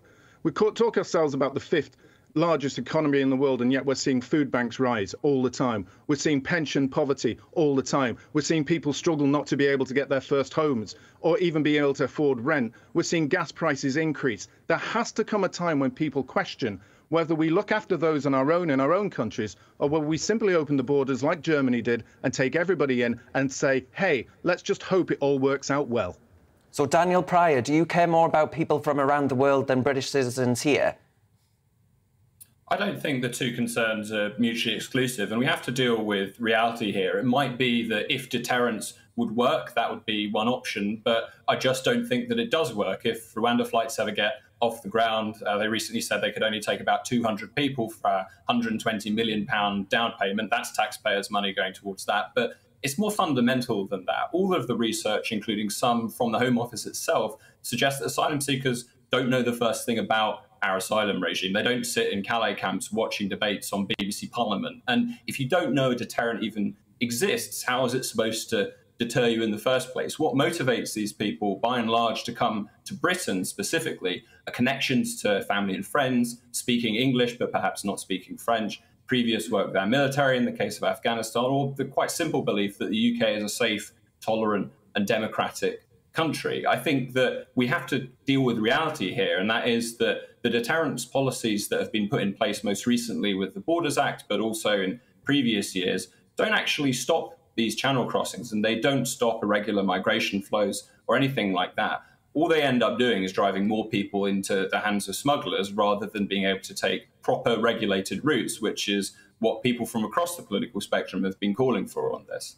So, Steve Valdez-Symonds, bringing you back in, isn't there a, a, a problem here where a, a, nation, and you know, this is rumoured to have been a quote attached to former President Reagan, where actually a nation that can't control its borders is not a nation state. And if we don't know who's coming here, right, how can we be certain that our national security isn't impacted? Well, we've had people coming to this country seeking asylum for, as Daniel mentioned, for 20 years he talked back to a time when actually the number of people who came to this country seeking asylum was far, far greater than we see now or have seen for very many years. So, actually, goodness knows why we should be struggling at this particular time when asylum claims do remain relatively low. The reality is that what we have done over the last three years in particular is stop processing claims. People are being held in backlogs at the moment in very large numbers. The backlog has ballooned over the time of the current Home Secretary. And now we have a struggling asylum system, absolutely, because it's not made decisions on people's claims. It is having to pay to accommodate them. And if it had only got on and done its job of deciding who should get to stay and who should not, it could get people out of the system, either fending for themselves or look at the issue of returns. If we are not prepared to have a system that is functioning like that, then no, of course we're not going to be in control. We have ceded complete control of this, not to people seeking asylum. They're just vulnerable and completely at, at sea. Literally, we've okay. ceded control to people smugglers and traffickers. and their business is thriving while we ignore our responsibilities. So, Steven Woolfe, then, we're just ignoring our responsibilities here, and actually, there shouldn't be any worries about national security concerns, which many of my viewers actually do have. Well, there are uh, national security concerns, but I would say that, like like others, that the numbers that are coming in are generally not going to be hundreds of thousands of terrorists crossing the border, but there may well be one or two. So there is a concern that we have to address there. But a lot on, of people would say one or two too many, right? Perhaps, perhaps, but we we have to monitor that, and that is a concern that the government should work with with the security services. But when we look at those coming over, if you, even if you consider the past few years, on average, the past three years we've had 15,000 asylum applications refused, and that's after appeal. It's generally about a quarter, 20% to 25%. 15,000 people refused, we're not removing them. So there we have a problem there too. There's roughly around 50,000 in the past three to four years who are just not being uh, removed from the country, and that's the official language that we use. And there is a big concern too. So you're getting that as the backlog. And, and Steve is correct in the sense that if you look at 2001 and when we had 79,000 asylum applicants and 2002 when we had 103,000 applicants under Tony Blair's government. But that followed initially by a quite dramatic drop to around 30,000. It's increased over the past few years because the people smugglers and traffickers have got cleverer. They have worked out their routes. The vast majority are coming from Iran and Iraq, and now catching up with them is Afghanistan, and we have significant numbers from Africa. So they're very smart. The smugglers know what they want, and the reason they know that they can offer a good package is because we do not deport those who refused applications, and we do not send out any deterrence methods for them either. It's easy. Once you get here, they say, you'll never leave. And it's true. So, Victoria Hewson, is it not the case that, you know, leaving behind the cheeses, wines, and baguettes in France for bed, board, and benefits here in Britain, being put up in pretty nice hotels and all the rest of it, is that the draw? Well, I think certainly, I think, you know, it's certainly fair to say I don't think these um, people in the boats have an intimate understanding of the asylum system in the UK. I doubt if many practicing lawyers would claim to fully understand mm. the hmm. arcanery of it. However, I think they do know that the rates of return are very low, yep. and then if you can get here, your chances of staying are very good. And in some ways as well, I think the discussion about asylum seekers is, is only one very small part of the wider question about immigration. We're talking there thousands, tens of thousands. But last year, the UK issued 1.5 million visas in the different various capacities for people to move to this country. And I think while the, the asylum seekers and the, and the people in the boats in the channel is a very emotive question, there are much bigger questions about what our immigration policy, policy should be across the board because a lot of people are very worried about it. And I think a lot of people on the more libertarian side would say, well, we, sh- we should have, we should open our borders and invite more people to come, um, and, and that would help with our economy. But what worries me is that we've had very, very high levels of immigration in the millions over the past couple of decades, and our productivity uh, growth is is worse than ever. So I, I think there are some really, really important questions that we need to be asking about immigration more widely, as well as the specific security concerns about the integrity of the border. Indeed, right. We're going to have to leave it there, folks. But that was Victoria Hewson in the studio there, and Steven Woolfe, Director at the Centre for Migration and Economic Prosperity, Daniel Pryor at the Adam Smith Institute, and Stephen Valdez-Symonds, Refugee and Asylum Rights Director at Amnesty. Now, folks, you're with GB News on telly and DAB radio. Next, we're going to be talking about that monkeypox business. It came as the World Health Organization declared the global outbreak a health emergency. There are more than 2,200 confirmed cases in Britain. So, does that number make it a crisis here? We'll be discussing that after the break. Looking ahead to this evening's weather, and the UK is looking very wet and thundery in the northwest, warm sunshine in the southeast. Let's take a look at the details. Starting off in the southwest, and here it will be often cloudy with some rain at times, as well as blustery winds. The rain shouldn't be particularly heavy though. Meanwhile, in the southeast, and after a hot day, it will stay fine and very warm through the evening, with some further sunshine for most. A cloudier picture across Wales. Here, there will be some blustery winds, especially around the coasts and over the mountains, with some spells of rain. It will also be largely cloudy around Birmingham and in the West Midlands, whilst it will be drier and less windy than further west. A few spots of rain are possible this evening. It's looking similar around northeast England, where there'll be quite a bit of cloud this evening and some outbreaks of rain, which could be heavy at times with blustery winds too. A wet end to the day across Scotland with heavy and thundery spells of rain. A warning has been issued for southwestern Scotland, where impacts are likely from the rain. There'll also be some impacts from the rain for Northern Ireland, although the worst of this should have cleared here by this evening, albeit with some showers following. A little rain spreads across the UK overnight, whilst in Scotland the rain will continue to be heavy and thundery at times. And that is how the weather is shaping up overnight into tomorrow morning.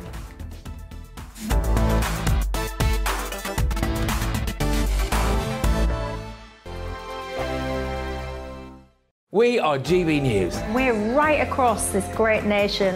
On TV. On radio. On digital. Absolutely everywhere. We don't talk down to you. We embrace all voices with honest and civilised conversation.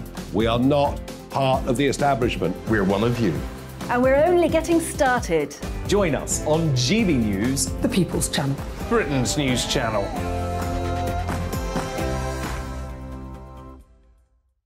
Hi there, it's Stephen and Anne. At breakfast from 6am, you'll always be caught up with everything you need to know the latest headlines, opinions, and debates. We'll bring you the good news and the bad, but most of all, we're here for you. Remember, send in your views and let us know what you would like us to talk about. That's because we're your news channel. And every morning at 6am, it's breakfast on GB News. My name's Tom Harwood and join me 9.30am every weekday for The Briefing, your one-stop shop for everything you need to know about what's going on in politics today. I wonder if this is a deal that might need to be like the biscuits in this factory, twice baked. Is there not an opportunity here to win out against the extremes? Tom Harwood, GB News. What are you going to do about it? Things should have been done differently, and they, and they certainly are being done differently. Don't miss it. The Briefing with me, Tom Harwood, 9.30 Monday to Friday on GB News. Where would you like to go? Just take me to the studio, please, Matt. You know where you're going. I've got a show to do. Friday Night Feast on GB News, 7 pm. And it's like nothing you've ever seen before. We take a different angle on the week's biggest news stories. The viewers and listeners set me some absolutely mad challenges to do. We tried to rehome a rescue dog. And yes, there's some other wacky stuff in there as well. I feel like I could take on the world.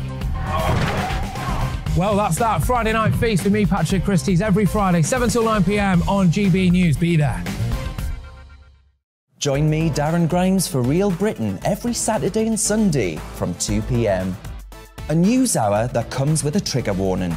Scorching hot opinion with prominent guests saying the unsayable and a little bit of weekend fun thrown in. Unlike other broadcasters, I won't be forgetting what the B in our name stands for.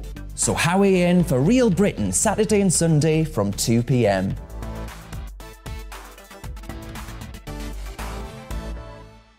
Hello, I'm Patrick Christys. And I'm Mercy Muroki. Make sure that you join us Monday to Thursday, 10 a.m. until midday, right here on GB News for To The Point. We're not afraid to talk about the topics that matter to you or the big topics that always matter. We cover absolutely everything from the breaking political stories of the day to law and order, what's going on in the channel. We're not afraid to hold people to account. We always make sure we include your views on our show. Indeed, if you're thinking it, you can guarantee that we're saying it. So make sure you join the conversation with us 10 a.m. until midday, Monday to Thursday, for To The Point on GB News.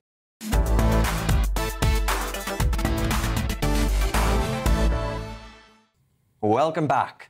The World Health Organization has declared the recent monkeypox outbreak a global health emergency, the highest alert the WHO can actually issue after a rise in cases. Let's hear what the Director General of the World Health Organization said yesterday. We have an outbreak that has spread around the world rapidly through new modes of transmission about which we understand too little and which meets the criteria in the international health regulations. For all of these reasons, I have decided that the global monkeypox outbreak represents a public health emergency of international concern. So, how much is monkeypox a cause for concern? To provide us with the answer to that question, I'm joined by Professor Andrew Preston, a microbiologist at the University of Bath.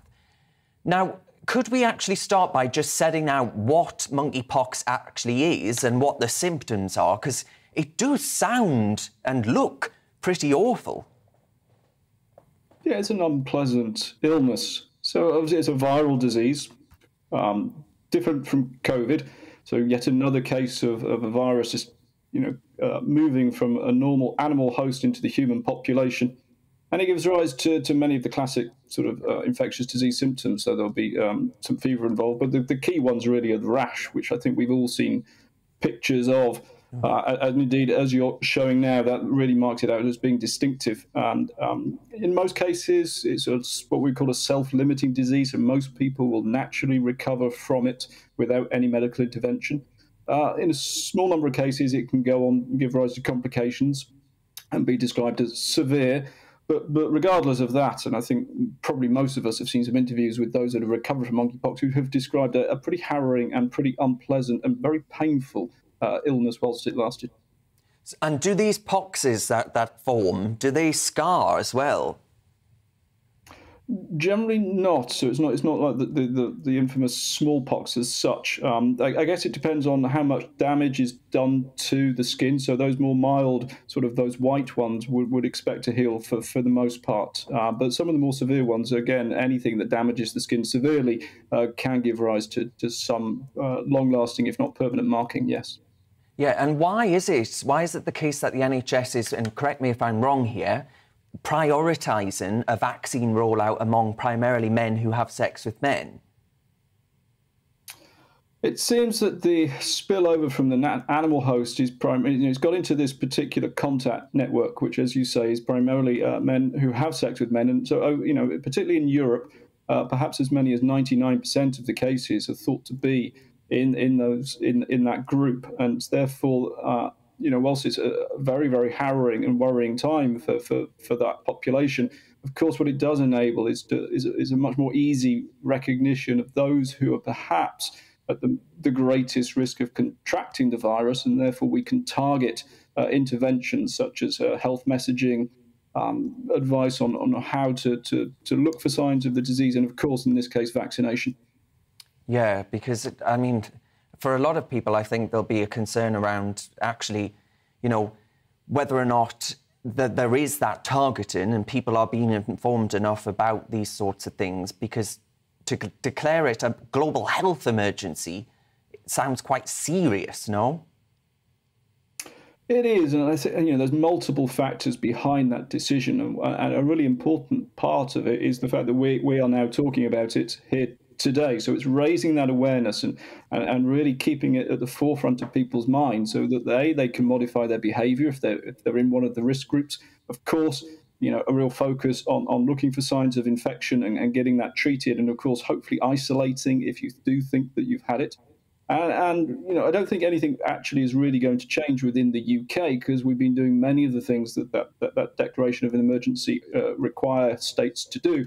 But in other parts of the world, where of course there's far less infrastructure, and indeed there is unfortunately, you know, a lot of sensitivity about you know uh, homosexuality, and that makes getting that message across and the help to those communities, if it gets into those communities in other countries, particularly difficult. So that sensitivity is very important. Um, but the, but the, the, declaration, as as we've seen today, is really raising that awareness, perhaps, in, and and will help stop it from getting into other countries that at the moment are virus free. But we're not going to see COVID like restrictions, right, to stop the spread or anything of that like. No, this is an entirely different infection, and then you know, COVID was a, was a, was an unfortunate, terrible mix of, of a virus that was spread by the very act of breathing. Clearly, sexual contact, as we think most cases are being spread, is, is a much more deliberate, avoidable um, action. And of course, uh, the, the, the, relatively high levels of uh, asymptomatic infection in, in, in, with COVID, so people carrying the virus without really being aware of it and therefore spreading it very easily and very hard to trace. Uh, we're, we're, perhaps not seeing that quite so much with monkeypox. So, so entirely different type of infection. But if we have a novel disease that we're not used to seeing here and it's clearly spreading within our community, that is certainly not something we want to ignore because that is how problems start to, to escalate and, and eventually get out of hand. And so you know, whilst it's unfortunate, it's got into a particular population within our communities at the moment. At the mo- you know, there'll be a lot of uh, emphasis, and, and, it really is important that it stays within that population and, and eventually cleared from it, rather than spilling out into those groups who are perhaps more at risk of those severe cases that we talked about uh, earlier. Okay, Professor Andrew Preston, thank you very much for giving us your expertise there, microbiologist even at the University of Bath. Now, folks, there's plenty more to come this afternoon on Real Britain. Next, we're going to be talking about your pension pots. Over the last year, pensioners have been feeling the pinch as their yearly income has fallen. So we're asking, should younger generations continue to prop up our pensioners through taxation and the so-called triple lock? We'll be talking about that after the news headlines with Tamsin Roberts.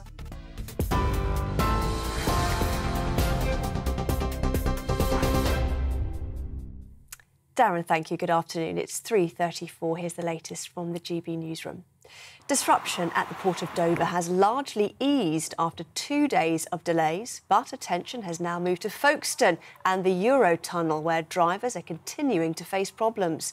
Delays in Dover have been reduced to around an hour after some drivers reported waiting up to 18 hours yesterday. However, now the AA has called Folkestone the new hotspot of holiday hell, warning travellers were waiting several hours to get to the Eurotunnel terminal. The Highways Agency has warned of severe delays in Kent for people heading to either terminal. The Board of Cricket Scotland has resigned ahead of the publication of an independent review into racism. The review has been conducted after Scotland's all time leading wicket taker, Majid Haq, told Sky Sports News that Cricket Scotland was institutionally racist in a letter to the board, apologised and said the review would provide a watershed moment for Scottish sport. Liz Truss and Rishi Sunak have vowed to toughen controls on migration as part of their bids to become next Tory leader and Prime Minister. Mr Sunak said he would tighten the definition of who qualifies for asylum and introduce a cap on refugee numbers. Liz Truss said she would extend the UK's Rwanda asylum plan and increase the number of Border Force staff. Kate Moss said she had to run away from a photo shoot after a man asked her to go topless when she was 15. In a rare, wide ranging interview with BBC Radio 4 programme, Desert Island Discs, the supermodel touched on numerous issues such as her support for actor Johnny Depp during his recent libel trial. She also said she felt scapegoated by the media due to her drug use in the 1990s. TV, online, and DAB Plus radio, this is GB News. Don't go anywhere. Darren will be back in just a moment.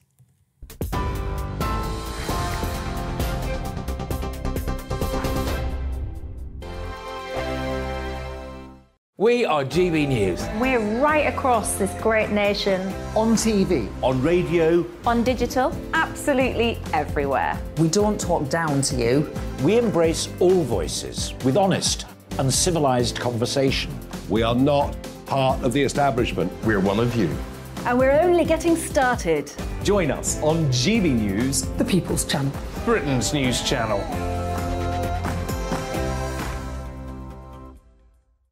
Hi there, it's Stephen and Anne.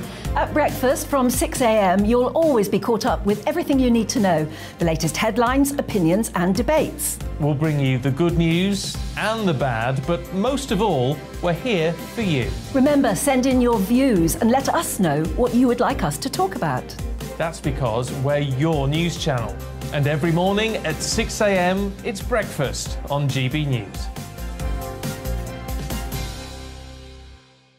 My name's Tom Harwood and join me 9.30am every weekday for The Briefing, your one-stop shop for everything you need to know about what's going on in politics today. I wonder if this is a deal that might need to be like the biscuits in this factory, twice baked. Is there not an opportunity here to win out against the extremes? Tom Harwood, GB News. What are you going to do about it?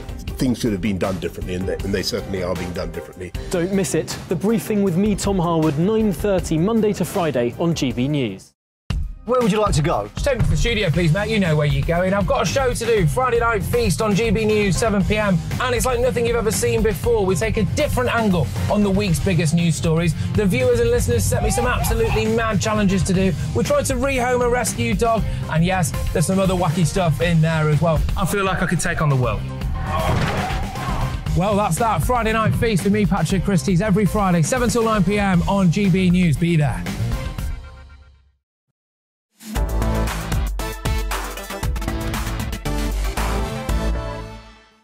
Welcome back. Over the last year, folks, pensioners have been feeling the pinch as their yearly income has fallen by around 600 quid.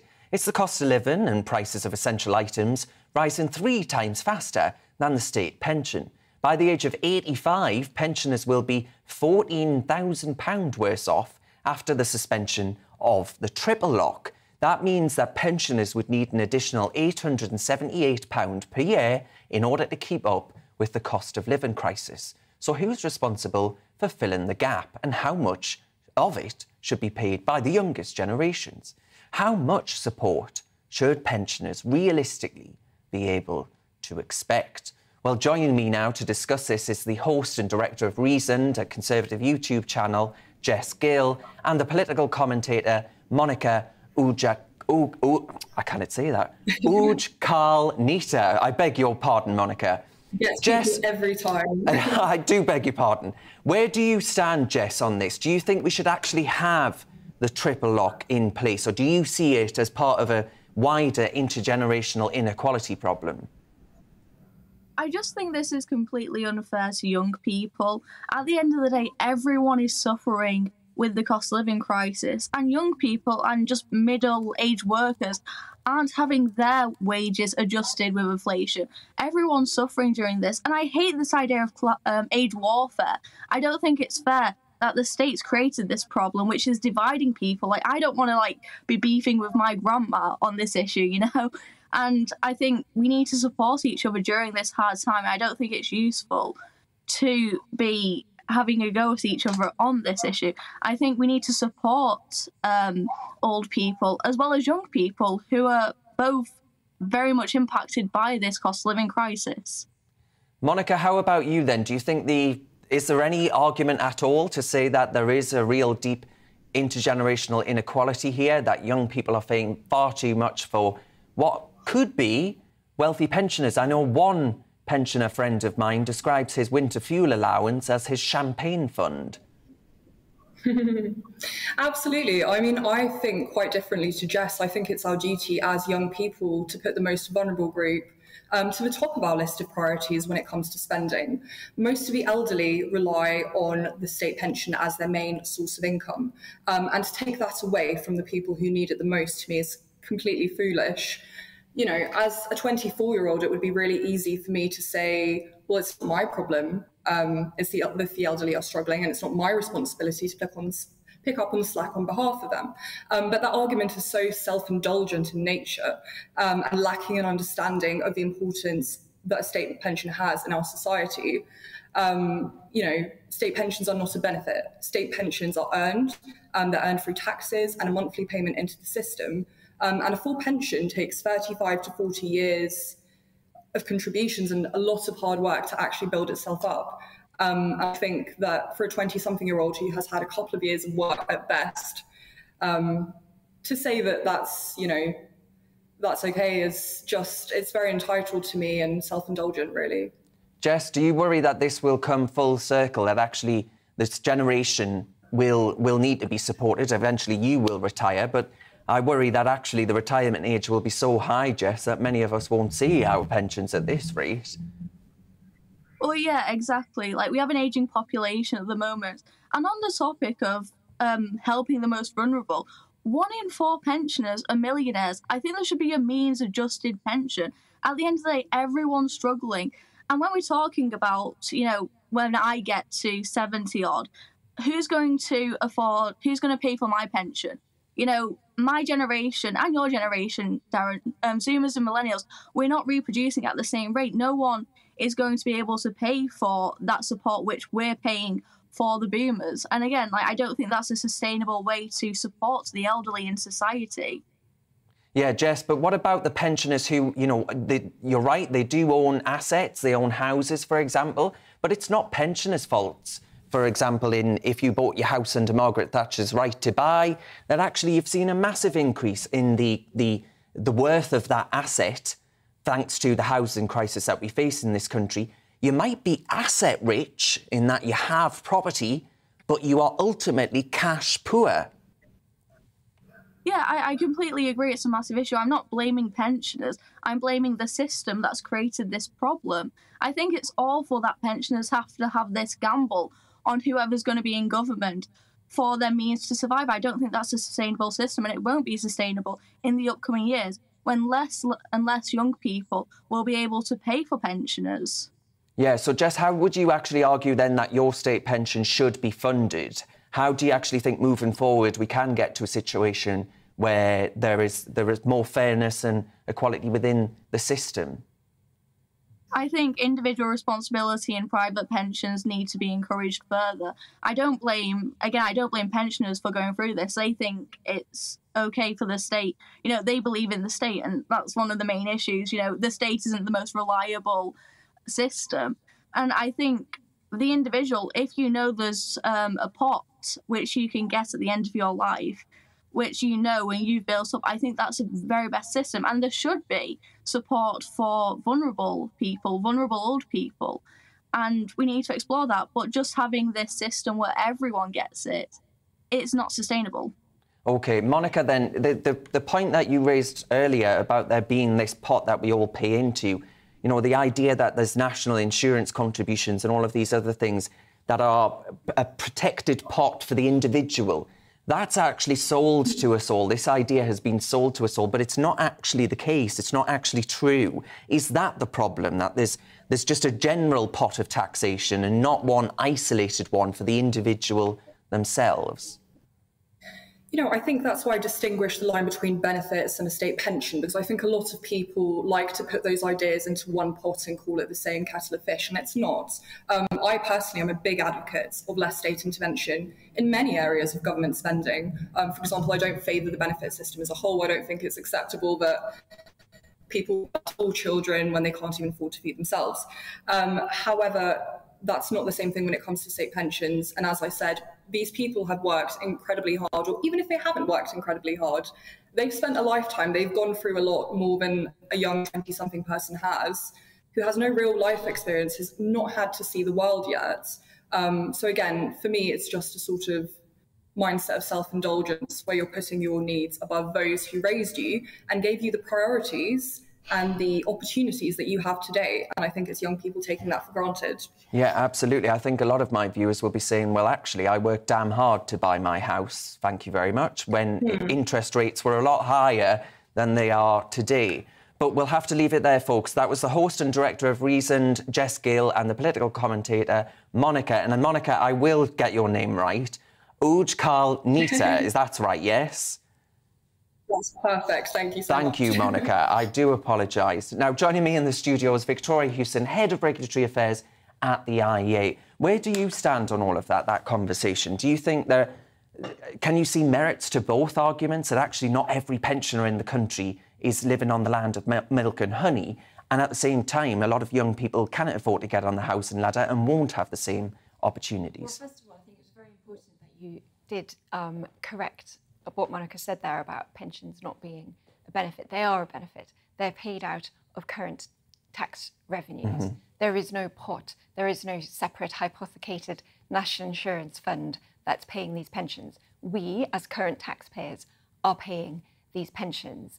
And in a, in a way, though, the, the, the triple lock, um, which basically gives pensioners a guaranteed increase depending on the cost of living, um, and and and the, the, other factors. Now that's in a way quite sensible because pensioners often are on a fixed income, and it makes sense to de-risk them mm-hmm. because they often don't have the ability to take other measures to protect themselves, to pursue uh, other ways of, of making money, and so on. And the idea is that we, as as thrusting healthy young taxpayers, can uh, look after ourselves more. But the problem is is, is when actually the economy is not working that way and that ability for us to work more hours or get promoted or move to a better job and earn more money. That's not working as it should because we are paying ever higher tax rates Mhm. ourselves on our own income. Moving house to, to, to a more affluent area to get a better job is ever more difficult because of because of housing and planning, and all kinds of other things are introduced like occupational licensing. All of these factors that make it ever more difficult for younger people to look after themselves. So that is an, an unfairness. It's de-risking the pensioners, which is arguably not a bad idea, but without unleashing the ability of younger people to work harder and more productively to, to provide for ourselves. But you know, if I think to to my grandparents, if I think to, to your own background, Victoria, a lot of people will be watching this and saying, hang on a minute, right? This idea that all pensioners are well off just simply isn't true, right? This caricature of the wealthy pensioner that benefits from the triple lock. Absolutely. And, you know, to give an example of my own parents who are facing their gas bill trebling Yes. this winter, um, it's going to be very, very difficult for them indeed, as is going to be the case for many thousands of pensioners, but also going to be the case for many thousands, millions indeed, of um, people who are not yet of, of pensionable age. Now, there's a long term argument about whether we should be means testing pensions and all of the other associated benefits like bus passes Mhm. and winter fuel allowances, because as you alluded to, for a lot of fund. for a lot of older people, that is just a, an annual bonus that's an, a nice to have. And the argument against the means testing, of course, is that that in itself introduces cost and complexity, and you almost don't end up saving very much by the time you've put all of the administrative processes in to try and figure out who's entitled to it and who's not, and then inevitably. But it would solve cases. that inequality argument, wouldn't it? If people were getting things means tested, so you were getting it if you actually, you know, were. Well, I would actually really like to see some proper analysis done on what the costs and benefits would be Yeah. of means testing pensions and associated old age benefits, because it could well be that the civil service just don't fancy the extra work involved, but, but maybe it would be quite a sensible thing to do. But again, I feel like the savings there are going to be quite ancillary compared to the costs that pensioners and indeed all of us are facing on, for example, our uh, energy bills. Absolutely, Victoria. Absolutely. marginal. Thank you very much. Victoria Hewson we'll come back to you. Now, folks, it's time for Grime Watch, a time to look at what you at home have been saying about the biggest stories of the week. We spoke earlier in the show about how we should control our borders, and a lot of you responded. So let's see what you had to say. Joe says the first priority of any government should be the protection of its people. What happened? Alan replied, Are they migrants or asylum seekers? Because there is a difference. Yes, and Alan, I do think there is merit to that argument, right, in saying that actually people who are in France, safe in a country like France, are not those seeking to escape a war torn country. David said, There's no screening for age or, or origination, health, security, or anything. I don't know what the border force is for. Well, at the moment, it seems to be a ferry service.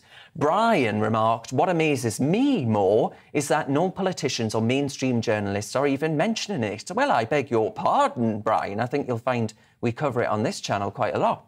I wonder if they will once it starts to affect them or their families. Hmm. Jackie replied, if the Home Office got on with the job of processing asylum seekers properly, instead of assuming that they're all a threat, we'd have extra people available to fill vacancies and we'd free up resources to deal with the dangerous ones. Well, that's one argument, Jackie. Now, Derek says, why isn't this done as soon as they get off the boats? Well, I, I, Derek, I, the, Mark White, our Home Affairs uh, correspondent here at the channel, he's actually told us of, of migrants who've gone missing from these hotels, who haven't had their fingerprints taken, who haven't had their photographs taken. And actually, I think there's a conversation to be had there about the national security implications. Carol jokes, do we still have an immigration department? Well, I'm not sure Carol was joking there because I think she's actually got a point. I'm not sure we do have border controls in this country. Now, folks, that's all we've got time for on Grime Watch, but your views are much more important than my own, so please do continue putting them in. Finally, folks, it was another successful week for England women's football, after they beat Spain 2 1 to make it through to the semi finals of Euro 2022, where they'll face Sweden. A winning goal in extra time from Georgia Stanway ensured that the Lionesses still have a strong chance of winning their home tournament. So, could they actually do it and show the men how it's done? Well, to discuss this, I'm thrilled to welcome back former football referee Janie Frampton. Janie, thank you for your time. As I understand it, Spain were one of the hot favourites to win Euro 2022. So, how impressed should we actually be by the Lionesses' victory on Wednesday? Good afternoon, Darren. Lovely to be back. Um, when we first spoke after the game against Austria, we did say that the Lionesses were starting quite slow, even though we picked the points up, and we thought they'd go from strength to strength as the tournament went on. When they came up against Spain, um, I thought for a big part of the game to start with, Spain were by far the better team and went 1 0 up.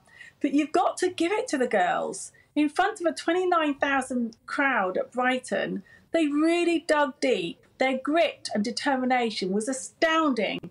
And they got the equaliser, and then, of course, an extra time, Georgia's fantastic goal.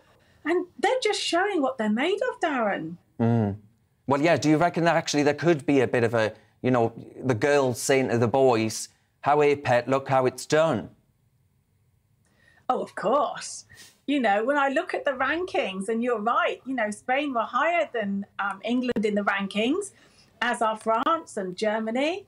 So we are right up there amongst the best in the world, and we're holding our own without doubt. Sweden are second in the FIFA rankings, so it'll be very interesting to see how that game goes next week. Yeah.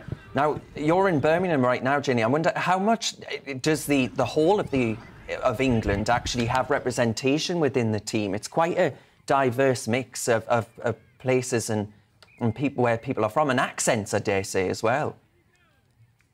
Yes, I think it's really interesting because going back the days of old, Darren, you'd get, you know, most of the players either came from you know, Arsenal or Chelsea or Man City. And it's really good to see now that the scouting system is working because we are getting quite a mix across the board mm-hmm. from different teams of girls representing us and the Lionesses. So, do you think England can actually go on to win this? I do. Oh, well, so there we are. now, there's um, Sweden, England, France, Germany, they are all really strong teams. You never know, Darren, we could end up with an England Germany final. Well, that would be something. And that actually would really put women's football on the map. Yeah, do you know, Darren, there was over 9 million viewers wow. watching that game against Spain.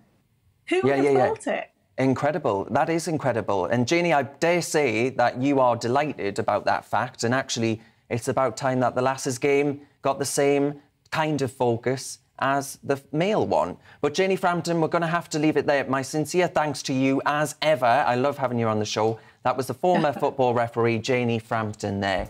Now, folks, you have been watching Real Britain with me, Darren Grimes. I thank you very much for your company. The show's on every Saturday and Sunday at 2 o'clock. But for now, I'll leave you with the weather. Looking ahead to this evening's weather, and the UK is looking very wet and thundery in the northwest, warm sunshine in the southeast. Let's take a look at the details. Starting off in the southwest, and here it will be often cloudy with some rain at times, as well as blustery winds. The rain shouldn't be particularly heavy though. Meanwhile, in the southeast, and after a hot day, it will stay fine and very warm through the evening, with some further sunshine for most.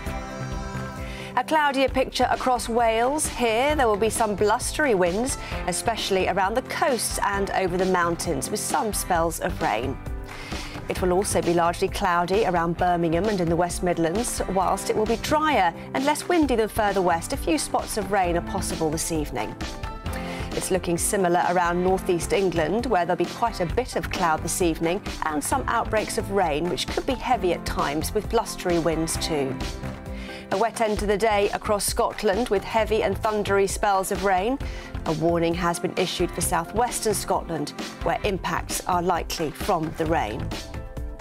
There'll also be some impacts from the rain for Northern Ireland, although the worst of this should have cleared here by this evening, albeit with some showers following.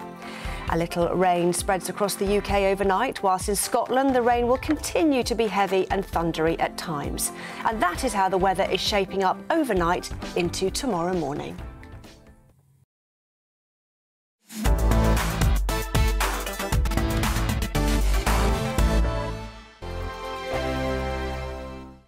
We are GB News. We're right across this great nation. On TV. On radio. On digital. Absolutely everywhere. We don't talk down to you. We embrace all voices with honest and civilised conversation. We are not part of the establishment. We're one of you. And we're only getting started. Join us on GB News, the People's Channel, Britain's news channel.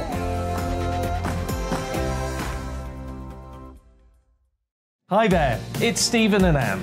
At breakfast from 6am, you'll always be caught up with everything you need to know the latest headlines, opinions, and debates. We'll bring you the good news and the bad, but most of all, we're here for you. Remember, send in your views and let us know what you would like us to talk about. That's because we're your news channel. And every morning at 6am, it's breakfast on GB News. My name's Tom Harwood and join me 9.30am every weekday for The Briefing, your one-stop shop for everything you need to know about what's going on in politics today. I wonder if this is a deal that might need to be like the biscuits in this factory, twice baked. Is there not an opportunity here to win out against the extremes? Tom Harwood, GB News. What are you going to do about it? Things should have been done differently, and they, and they certainly are being done differently. Don't miss it. The Briefing with me, Tom Harwood, 9.30 Monday to Friday on GB News. Where would you like to go? Just take me to the studio, please, Matt. You know where you're going. I've got a show to do. Friday Night Feast on GB News, 7 pm. And it's like nothing you've ever seen before. We take a different angle on the week's biggest news stories. The viewers and listeners set me some absolutely mad challenges to do. We're trying to rehome a rescue dog. And yes, there's some other wacky stuff in there as well. I feel like I could take on the world. Well, that's that. Friday Night Feast with me, Patrick Christys, every Friday, 7 till 9 pm on GB News. Be there.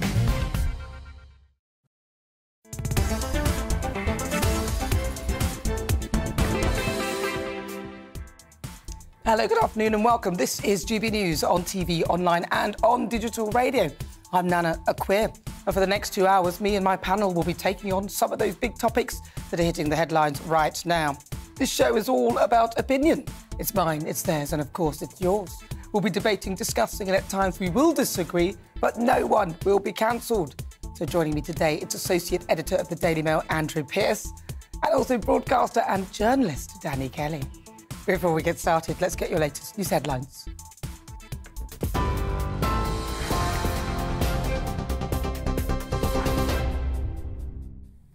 Nana, thank you. Good afternoon. It's four o'clock. I'm Olivia Guthrie in the GB newsroom.